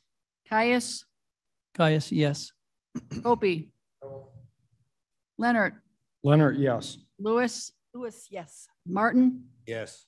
Molina, Molina, yes. Sanchez, Yes. Shepro, Shepro, yes. Silva. Silva, Strathman, Yes. Surges, Burgess, yes. Tepe, Tepe, yes. Wallace, No. Wojnicki. Yes. It passes. Three nays. And uh, one who is absent, so that is a, So That's considered a no vote. Okay, then they would, okay, or it still Silva, are you passes. there? Doesn't, we don't need. Gone. So it still passes Yeah, at still uh, 20, passes. 20 to 4. still passes. Twenty to three. and then- Yes. Yeah, So. But when you need eighteen, holy. Okay, smokes. everybody Somebody told me stretch. that ahead of Down to our next one. So I would like, before we move forward, I do want to thank all of our neighbors uh, and residents um, for their in- uh, information, their concern, their voices. Um, This is not the end of our discussion. Um, I guarantee you that you will be called upon um, frequently as this project gets developed. Uh, You'll be uh, part of the conversation with the landscaping. Um, We can see if you'd like to uh, see what the panel is like. uh, We can even put it outside um, and call your attention to it at another time so you can see it in midday um, and different. Eric, is that the panel you're going Uh. And that's, uh, that's, it's, I'm, I'm I'm sorry, you're out of order. order right now, ma'am. Thank you. Uh, But we will be able to have the displays that are available for you. So thank you all. Thank you truly all for your advocacy. All right. so Madam Chair, we're- this is Dr. Silva. Um, point of order. Uh, I want to make sure that my vote was recorded as yes. Oh, okay, very good. Duly My- noted. My apology, technical difficulties. Okay, thank you. Still passes. Still, still passes. Thank you very much. So it's three no's then. One to three. From what I have. One to three. All right, let's go on, please, uh, to item number, uh, resolution 21-398, and I believe that is Mr. Martin. I'll move that. Wojnicki seconds. Madam Chair, uh, during the course of the um, last week, there was correspondence received by some of us, I don't know if all of us, indicating uh, from a uh, union representative that in fact there were uh, potential issues with the contractor that were, that we were uh, engaging, we were seeking to engage by this resolution. Um, I want to, in advance of the presentation, thank Jody Walnick and Scott Berger, uh, not only for their competence, but their diligence in uh, addressing these issues.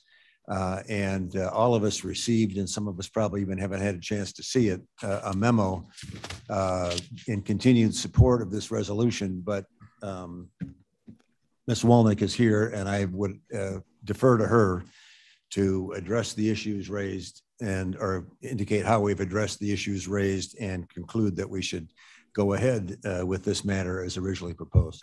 Thank you. Ms. Walnick. I have some additional copies available if anyone would like one. It's in our mail. I want to also recognize Maria Calamia from purchasing and her hard work on uh, helping Mr. Berger and myself put together the memo. Um, on September 9th, the Chicago Laborers District Council sent a protest letter to several county board members regarding the pending award of the Ogden Gardens Water Trust tank and building contract. Per the county's purchasing ordinance, only a vendor who submitted a bid is available to purchase, to pro- protest. Um, Therefore, the laborers union has no standing in the protest. However, we did want to provide some background information for the board to review uh, in regards to this item. You should know that the above contract represents uh, the first of a multi-phase effort to reconstruct the infrastructure necessary to provide reliable water for 122 homes in unincorporated Aurora Township. Approximately 70% of the area is low to moderate income. And the Water Resource Department and Office of Community Reinvestment have been coordinating with the Ogden Gardens Water Trust to undertake this critically important project. As the project is reliant on federal community development funding, it must comply with federal procurement and contracting standards. Upon receipt of the bid tabulation for the tank and building contract, the Office of Community Reinvestment confirmed that Integral Construction has not been placed on a federal government's list of entities, companies, and individuals that have been declared ineligible to receive federal funding. In addition, myself and my team contacted the references for Integral Construction, and all we received were positive comments on their work. Water Resources, the Office of Community Reinvestment and Purchasing reviewed the documentation provided in the protest letter and found that the violations were isolated incidents and that Integral had paid all restitution and fines. We have both confirmed that the cases were subsequently closed and that Integral Construction is in good standing with the Illinois Secretary of State and the Illinois Department of Labor. Due to the urgency of the tank replacement at the Ogden Gardens Water Trust and the approaching end of the construction season, staff held a pre-construction meeting on September 9th to ensure everything was in place with the contract. Myself and the Water Trust spent considerable time with Integral's team and were very impressed with their expertise. They brought up, oh, They brought up many means and methods that they intended to employ with the project, as well as uh, difficulties in working on infrastructure that dates back to the 1920s, including the challenge of removing a below grade rusted steel door frame that was structurally supporting the well house. Because this project relies on community development funding and a number of provisions have been incorporated in the contract, the Office of Community Reinvestment staff has have reviewed those provisions with company representatives. Integral will be required to submit weekly certified payroll reports for all laborers and mechanics on the job, and periodically uh, the Office of Community Reinvestment will conduct on-site payment payroll interviews with employees of both Integral and their subcontractors to ensure compliance with federal labor standards and Davis-Bacon wage requirements. The Office of Community Reinvestment's procedures require compliance with these standards prior to the issuance of any payments. In conclusion, Water Resources, the Office of Community Reinvestment and Purchasing have determined that there is no basis for disqualifying Integral Construction as the lowest responsive responsible bidder for this contract. Further, we believe that rejecting Integral's bid would be improper under federal procurement standards and would jeopardize the use of federal assistance for the pro project. Finally, we want to ensure you that all necessary enforcement mechanisms are in place to ensure compliance with labor and wage requirements on this contract, and therefore staff recommends approval of 21-398. And I would ask if um, Director Berger has any additional comments to that, who is online. Good morning, uh, Jody and members of the county board. This is Scott Berger. I just want to uh, reaffirm the statements that Jody has made this morning. Uh, my office has been fully involved in this uh, proceeding, and we concur with her statements this morning. Thank you. Any Madam Chair questions? Brown, Brown with a comment. I'm, I'm sorry, Mr. Brown. Yes, thank you, thank you, Madam Chair. I just want to make a comment here that uh, I, I absolutely concur with what staff is recommending here. I was one of the board members, I think, that received the uh, letter from the Laborers Council. And I want to point out that it was Thursday evening that I, or Thursday late afternoon that I received that. And at that point, I contacted Jody Wolnick and uh, forwarded it on to her. And I just want to point out that in the matter of what is essentially two business days, which would have been Friday and Monday, because today's Tuesday. They did this research. They contacted the the um, uh, proposed uh, contractor and have come up with this conclusion. And I think for them to do this when, uh, by in fact, we're not even required to entertain this letter of protest because the protest did not come from another bidder, I think says an awful lot about our staff. So they've done their work, they've done it very well, and I am very supportive of awarding this contract. Thank you, Mr. Brown. Hearing no other questions. Madam Chair, I would like to speak on the matter. Dr. Silva, um, I am the board representative for Ogden Gardens. Oh, uh, I'm sorry, Mr. Uh, Ms. Silva. Um, could you speak to that again, please? Yes, um, I, am the board representative that rep, I'm the a board member that represents the Ogden Gardens area. And what I would like to say is that this is an area that has had a history of flooding issues, significant flooding issues for about 15 years. And that is when I first started working with Ogden Gardens on this, on, on various projects to alleviate some of these issues. Um, I did receive the letter late in the day on Thursday and my main concern, as you know, and some of the board members um, with whom I've already spoken uh, know, was to not reward bad behavior with government contracts. Um, I have done, I spent a number of hours uh, yesterday doing research and talking to staff. And I am comfortable moving forward for a number of reasons. Uh, although personally I would have liked to table the matter, I feel that we need to move forward because we cannot jeopardize the water source for the individuals in Ogden Gardens. So I am moving forward in support of this, but I have also made myself available to anyone who would like to visit the site. I will go with them to make sure that we are following any proper procedures. Um, and that is not to say that the company that we're working with is not going to. I just think it's a good practice uh, to be to be mindful and watchful uh, of these important practices. And as my peer my peer uh, Commissioner Molina said, the laws weren't put in place to limit small business or to make anyone feel inadequate or be or or like they're being judged. They're just there to ensure fair practices. So um, I would I would um, like to vocalize those things and thank you for the time. Okay, thank you. Mr. Kious?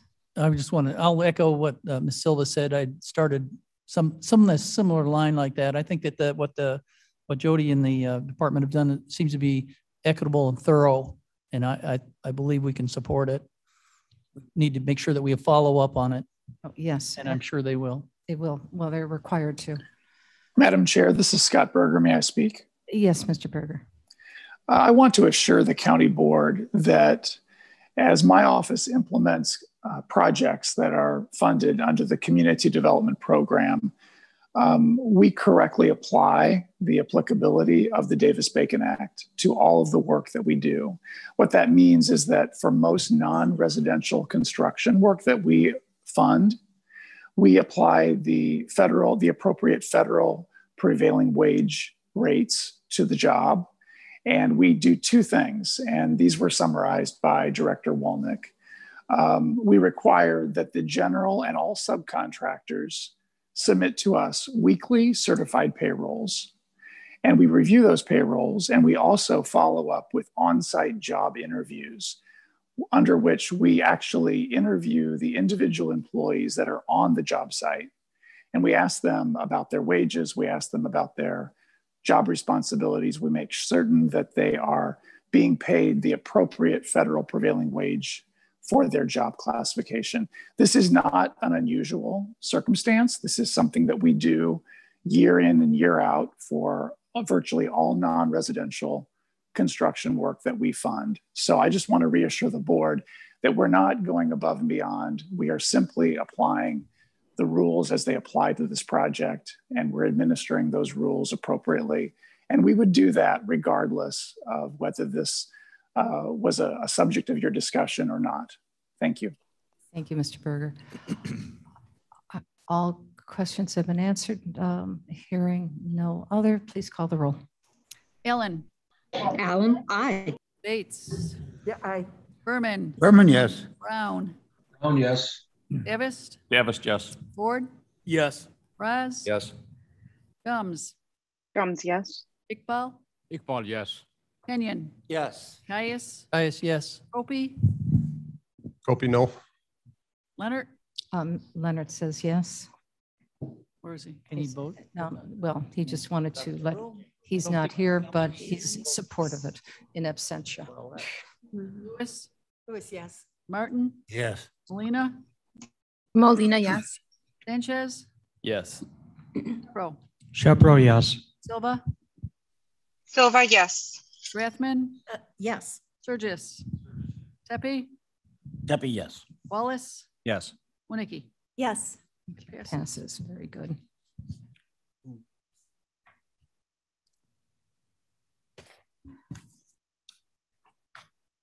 The next item is twenty-one four oh nine. May I have, um, Madam Chair, Surges here. I invite Jamie Labrillo to the stand yeah, podium.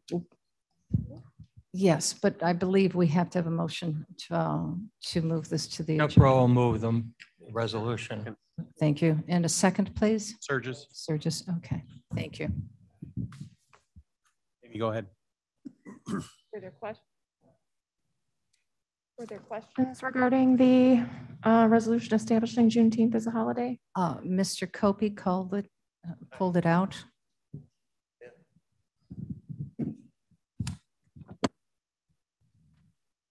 Thank you, ladies and gentlemen.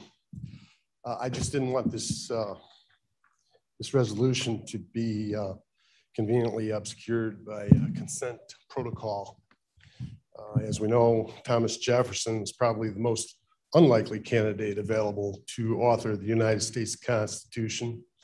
And by fate, he uh, inherited um, uh, roughly 40,000 acres of land through, uh, through um, uh, extended family and his wife's side of the family.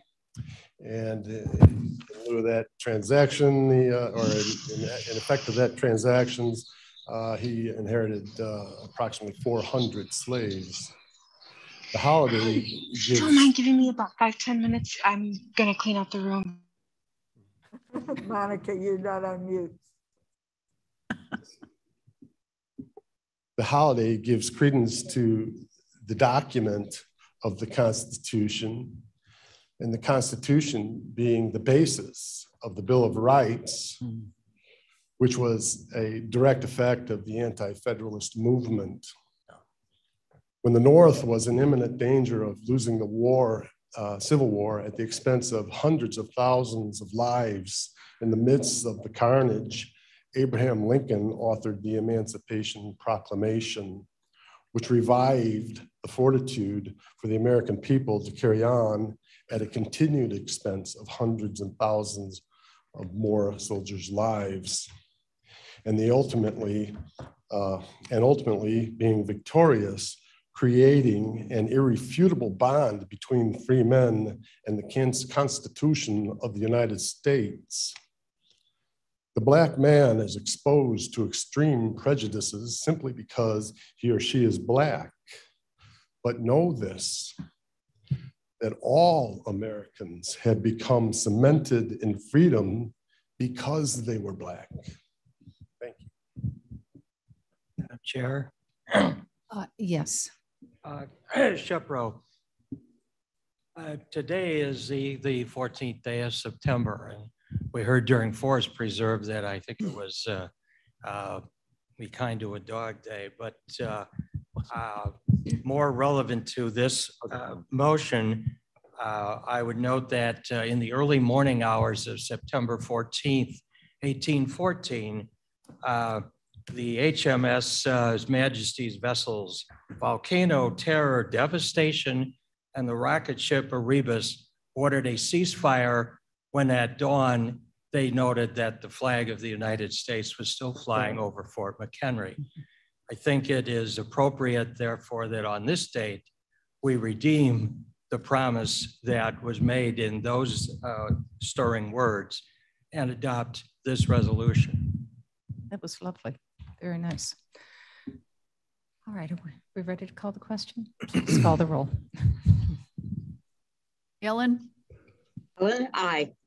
Bates, Bates, aye. Berman, Berman, yes. Brown, Brown, yes. Davis, Davis, yes. Ford, Ford, yes. Frasz, Yes. Gumz, Yes. Iqbal, Iqbal, yes. Kenyon, Yes. Kious, Kious, yes. Hopi. Leonard's not here. Lewis.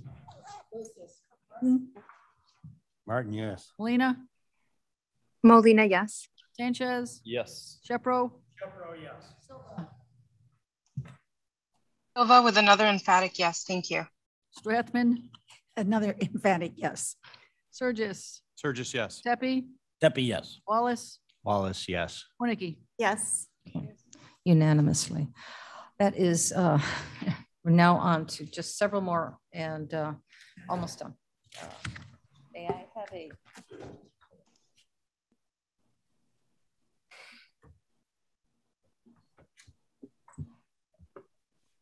May I have a motion and a second to approve item, uh, resolution number twenty-one four one five? Kious move. Kious Wallace, second. Wallace, okay, very good. Any discussion on this? Yes.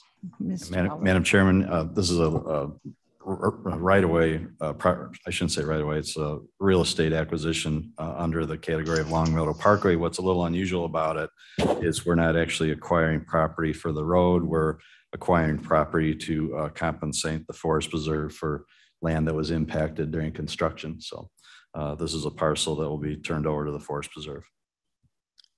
Yeah, I believe.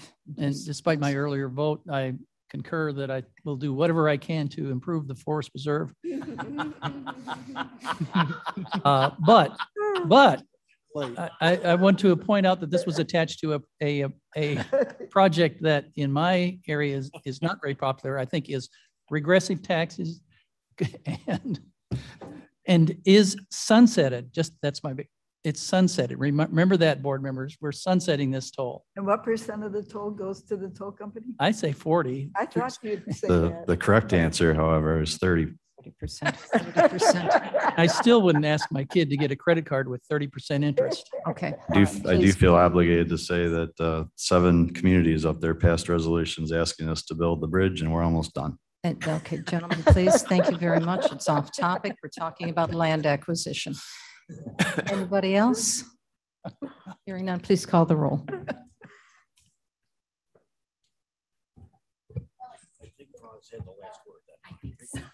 So true. Bates, Yes. Ru- uh, Wait a Berman, minute. Berman, yes. Brown, Wait, Hold on, hold on a Yes. second. Who's waiting a minute? This is Alan. I didn't hear my name called. oh, Yes. sorry, I did. Um, Ellen? Alan, anything for the forest preserve? Aye. Okay, thank you. Thank you. Brown, Brown, yes. Davis, Since Kious moved it, yes. Ford, Yes. Frasz, Gumz, Yes. Iqbal, Iqbal, yes. Kenyon. Oh, He's gone, I'm sorry. Kious, Kious, yes. Okay. Topi. Sorry, Leonard's not here. Lewis, Lewis, yes. Martin, Yes. Molina, Molina, yes. Sanchez, Yes. Shepro, Relying on Mr. Kious's careful research, I vote yes. Silva, Silva, yes. Strathman, Strathman, yes. Surges, Just too easy. Yes. Tepe, Since Kious voted yes, I will join Mr. Caius. Wallace, Yes. and Wojnicki. Yes. It passes. No good deed goes unpunished, Chris. Thanks for the consistency. Uh, May I have a motion and a second uh, to approve uh, ordinance number twenty-one four one six? Alan moves. Berman, second. Thank you. Is there any discussion on this? Yes, Madam Chair, I was, I was wondering if the please, state's, n- name please. Tepe here, I was, I was wondering if the state's attorney could have, uh, in any way, shape or form, made the, um, thirty-eight pages that are associated with this, uh, reach fifty pages perhaps. then I would not be justified in taking my salary. So no. Is there any serious questions? Madam Chair, this is Alan. Uh, Yes, Ms. Allen. Thank you. I just wanted to thank Joe Onzick for always being on the lookout for ways to save us money. He is uh, carrying the financial responsibility for the county, and yet we we call on him to um, do the financing for the multi-use building. Uh, we call on him when we have questions about our bond rating, and here is uh, an opportunity for us to save some money. And I'm I'm just grateful. I wanted to say thanks. Thank you. And he appreciates that recognition, surely, as we all recognize and give him thanks. Anything else? Please call the roll. Ellen, Alan, aye. Bates, Bates, aye. Berman, Berman, yes. Brown, Brown, yes. Davis, Davis, yes. Ford, Yes. Frasz, Yes. Gumz, Comes yes. Iqbal, Iqbal, yes. Yes. Kious, Yes, yes. Opie. Uh, Lewis, Lewis, yes.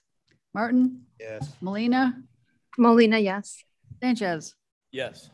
Jepro, Shepro, yes. Silva, Silva, yes. Rathman? Strathman, yes. Surges, Burgess, yes. Tepi, Tepe, yes. Wallace, Wojnicki. Yes. It passes. Oh, very nice. We have no need for executive session and we we have, we have my favorite, please, sir. Oh. I would like to move that we adjourn. Mr. Davoust. Second by Davis. Okay. Oh, All in favor? God. All in favor? Aye. Maybe young, but. Opposed? Have a great day. your